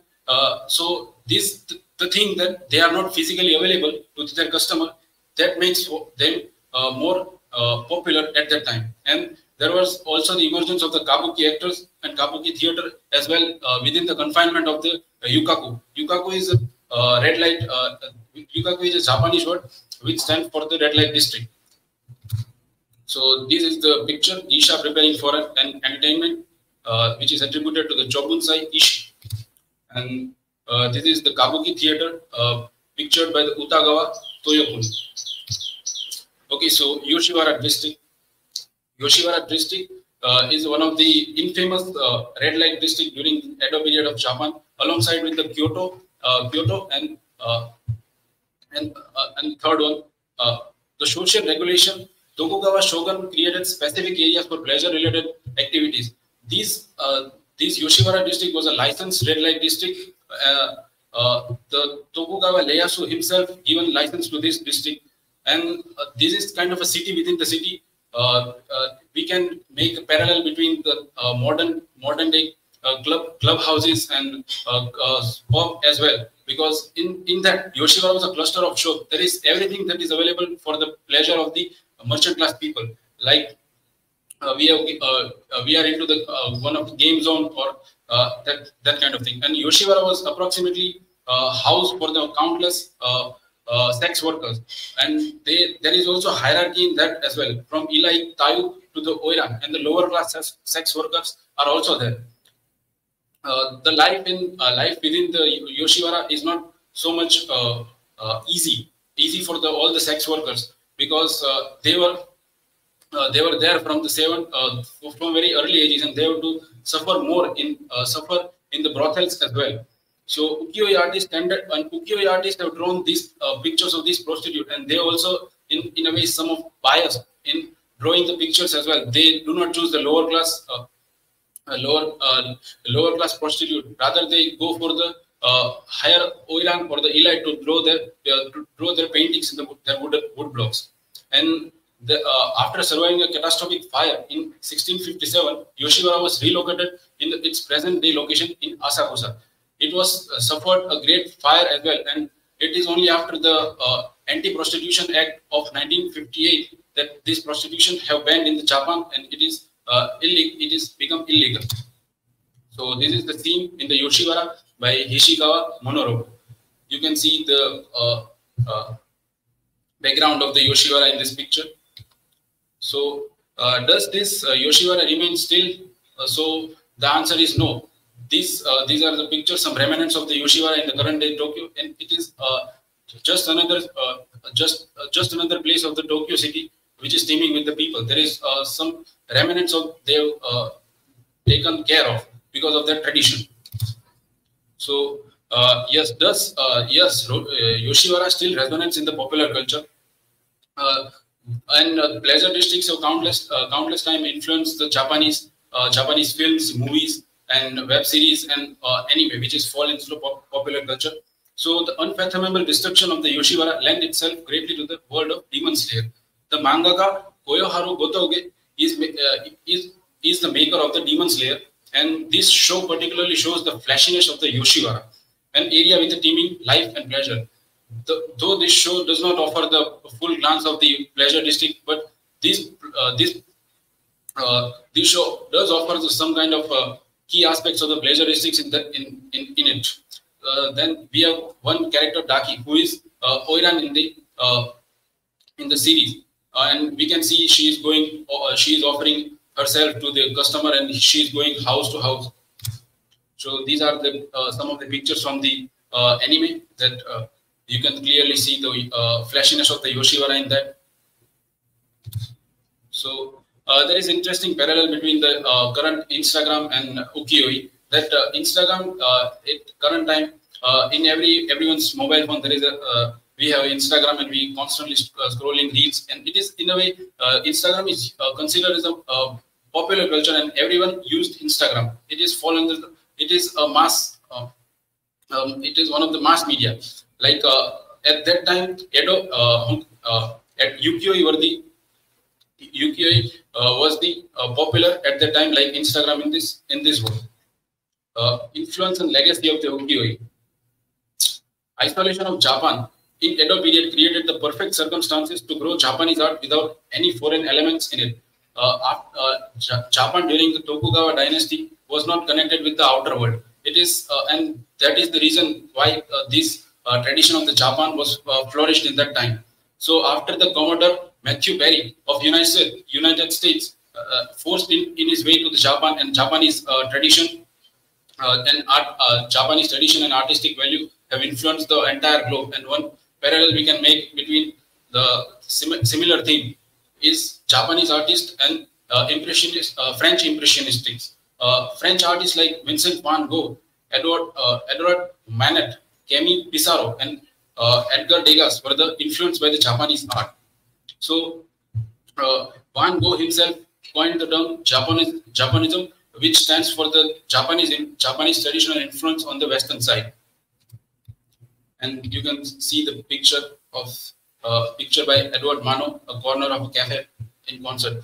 In this picture, there is a uh, this, this uh, uh, blend of Japanese arts and Western art. And this is also Vincent van Gogh is uh, influenced by the uh, Utagawa Hiroshige's painting. Uh, this is all uh, all the paintings, self-portrait with the band, banked, uh, bandaged ear by Vincent and combing the hair by Edgar Degas. So ukiyo-e in modern times. So uh, yes, ukiyo-e still remains in the modern times. There is uh, one institute, Adachi Institute, which is located in the Tokyo Tokyo district, uh, which which is engaged in the reproduction of the ukiyo-e uh, and the reproduction of the masters of the ukiyo-e, like uh, Hokusai's work they have rep- reproduced and all the things. And there is also one masters, one master of the ukiyo-e still uh, in the uh, institute, which is uh, who is Ni- Ninomi Morichika. Here is the uh, uh, painting, and this is the 2013 multicolor wood, woodcut print uh, created by the design by the artist Hiramatsu Reiji. So, in conclusion, we can say that uh, the concept of hedonistic uh, floating world allowed for the development of the distinct culture and broad artistic production in the Edo period, especially in the ukiyo-e genre. And, the, uh, and these pleasure quarters developed their own intrinsic culture surrounding the courtesan, fashion, entertainment, and hedonism. And uh, we, uh, we have seen that art is the mirror of society. So all the ukiyo-e artists have uh, depicted this hedonism in their paintings. So these are the references. And thank you. Now you can ask me questions.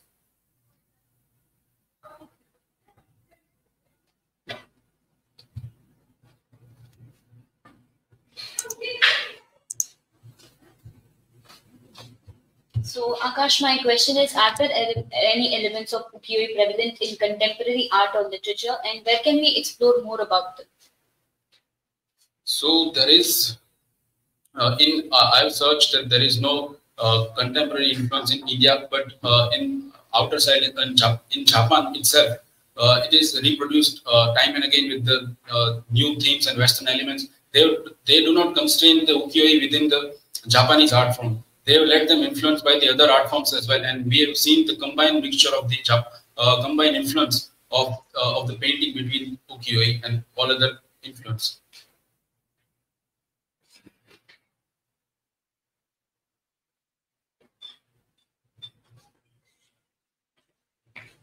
Aakash, my question is how did the hierarchical structure within Yoshiwara, such as a distinction between Oiran and other sex workers, influence social dynamics and power relations within the pleasure district during that period?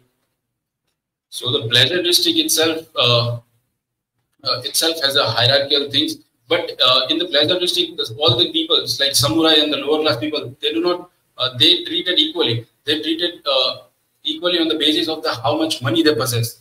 And uh, if we talk about the Oiran and other sex workers, uh, it is said that uh, there are thousands of prostitute uh, there are thousands of prostitutes working in the such a, such kind of pleasure district, and there are only six six Oirans among them. So it is very the, other it is suffering feeling for other people and only Oiran and uh, uh, Oiran and Tayu only uh, have the uh, some of the advantages to live.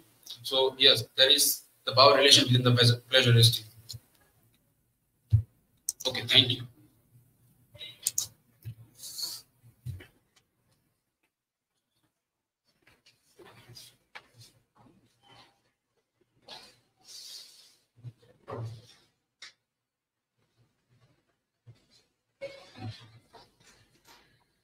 So uh, still some of you are taking longer time.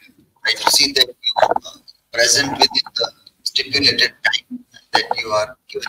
Seven to eight minutes uh, is the time that uh, they allow you to speak for. Okay, so a very quick review of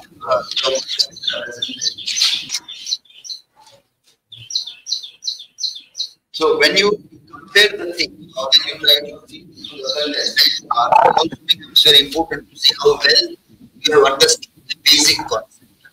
So if uh, you don't compare, uh, speak only straightforward, then we don't get exactly an idea. The concept clarity might come wrong. So comparison helps when with that or any other art or other thing, if you present, then uh, is there any gap in proper understanding or articulating the understanding or not? So that was in few of the presentations like uh,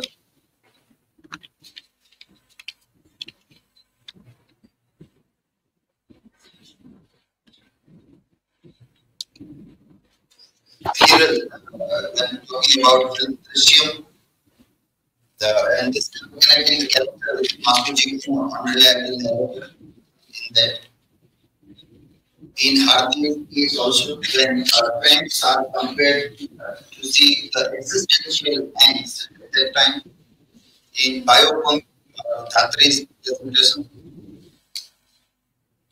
So what uh, is the problem? For example, in Drishyam and in this.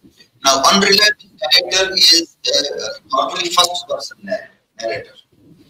Now, if you make it a third person, that doesn't mean that.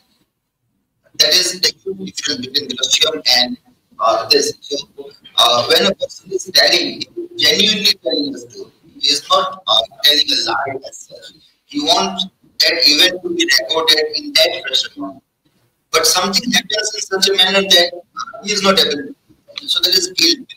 He has to face uh, something that he don't want to face. That is not exactly the case with Drishyam. Uh, narrative that doesn't happen. He is unreliable narrative, but is deliberately doing that to hide a crime.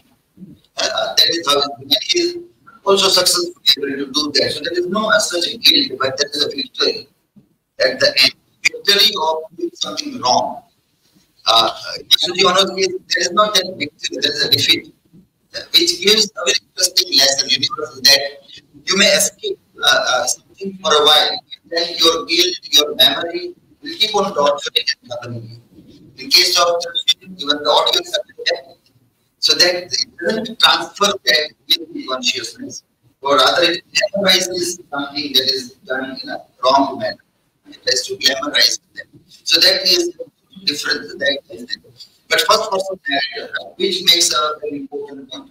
That narrative is controlled by the person. That is the third person narrator, uh, things are not like that in case of uh, this character uh, of Bai or Jai Viru, they also uh, try to glamorize. You just pick up uh, the idea that there are times, then you can classify so many times, but you can't extend that to the realm of existential angst, which is suffered by Vladimir Esther.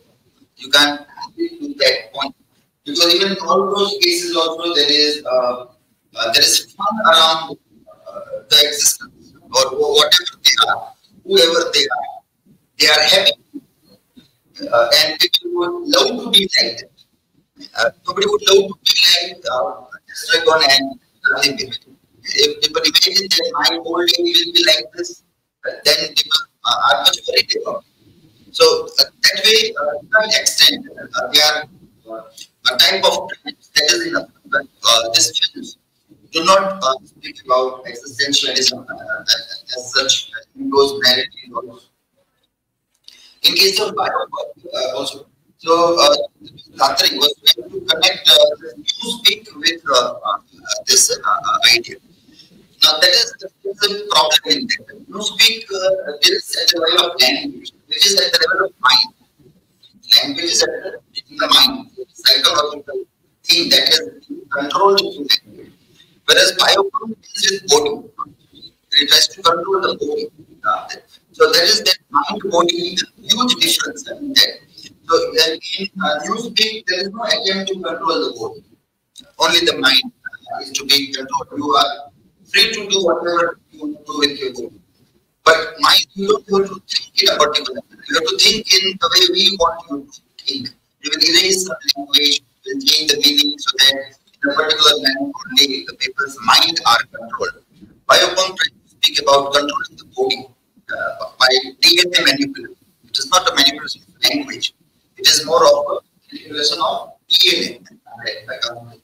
So something here, if you want to think, then we can think of uh, another genre, which can be psycho. This is the punk genre, uh, uh, popular literature genre. It was began with cyberpunk. Earlier, genre within cyberpunk comes the biopunk also. So many times biopunk comes from the cyberpunk.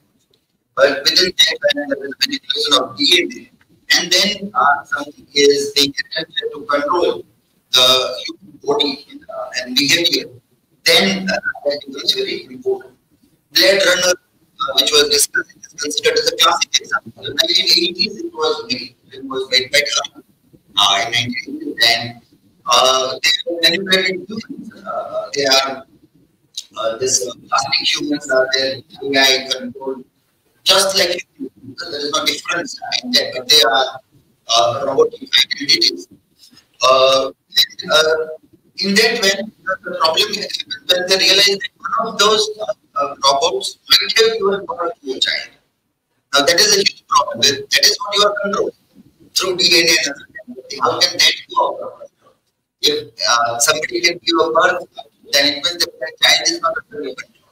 So your DNA manipulation is done so that you can control and then you can tell people that you have to do this so that and then go and do them without having because they, they will not restore those errors. Uh, in memory. And so they will never think that they are doing wrong. So people will command and say, go and kill those people. They are doing wrong. So these people will go and They will think they are doing right job because these are wrong people and you have kill them. So uh, that, that way, uh, uh, happens uh, in biopunk uh, in different ways. So that that difference uh, uh, also we need to take care of.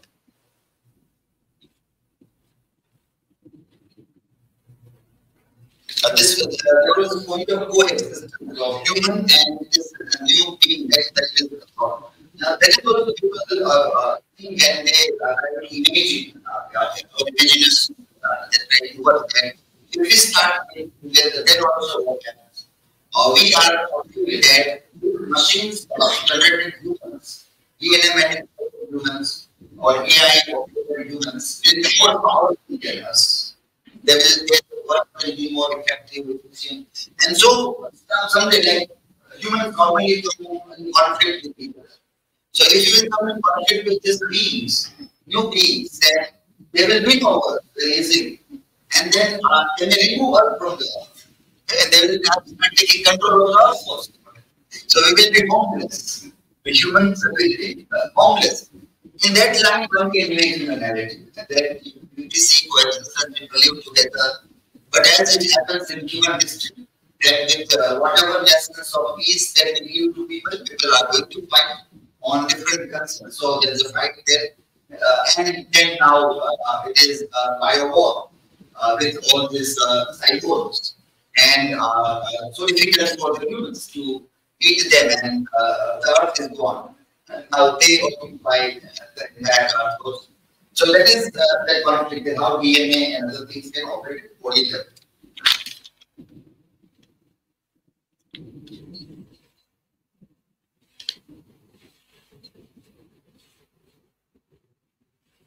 Kusum also, uh, you give example of music, you have to see again uh, uh, how exactly uh, uh, is trying to uh, see about uh, music. That we don't see as such happening uh, around us, uh, that how people are changing the language uh, dynamics.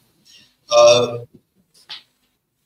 recently, we got a new word uh, in our discourse. Uh, which was this conflict of uh, Rajputs and that is going on. So that was that word, uh, Rajput, our prince of Bhavnagar. they gave this word in one of the. So that was new word coming up. Now that is uh, uh, where uh, something is happening. So that way, we don't see as whatever language is there that is very overtly, openly being utilized into the larger narrative rather than use it like to change and they want to remove all the words which can possibly speak anything of this party or their way of looking at the, the world. So the words should be dedicated uh, altogether. So that is not in the mind. So mind never visualizes the world in a similar manner. Even if they visualize, they don't have a language to speak. There should be a language to speak to articulate oneself. So they are removing uh, that in use it.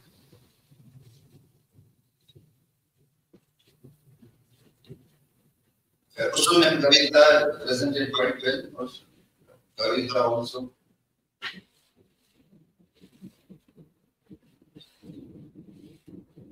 Uh, there was the second question was asked about social media and art. Uh, so here, uh, how you see art? Art here you see as an expression of some ideas. Art is seen uh, not as an art in totality, but what is art? Even every art, novel, painting, everything is nothing but an expression of an idea. That is, and social media posts are also expression of an idea. They are also expression of an idea. They come in a, uh, not in an artistic manner, but they come in a well communicative language and people articulate themselves there.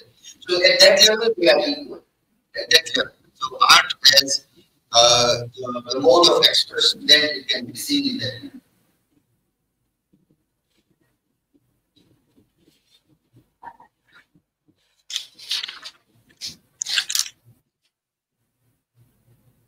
Darshan presented on absurdity. Uh, you cited one term paper. Avoid uh, citing that. One of uh, it was term paper uh, instead of quality research paper. Uh, because in absurdity you will find very good qualitative research paper from Westward. Then there is no need to uh, type papers uh, written by students for their undergrad or postgraduate uh, things. To me, uh, also presented well with uh, examples of other texts, uh, dystopian texts. Akshay also presented the history of uh, this. Uh, so in that also you have to use these names. Like I was telling you, so so person has told about the history of UAE, how it began, and if somebody is telling that how it, our times now, who says that? Which article you read? That needs me that you are incorporating is proper manner. Because this is uh, coming from a country where uh, it is remote to us. So it is not our first-hand experience. Whatever statement we make, we make from reading somewhere. So those names, those people should be referred, mentioned, and with that you have to uh, say that those things there. You have put in the uh, in the parenthesis on the side when you articulate or you speak, try to uh, bring that also. Okay, we end our session here. Best wishes for tomorrow's presentation. Tomorrow we don't. Day after tomorrow, uh, we have the next.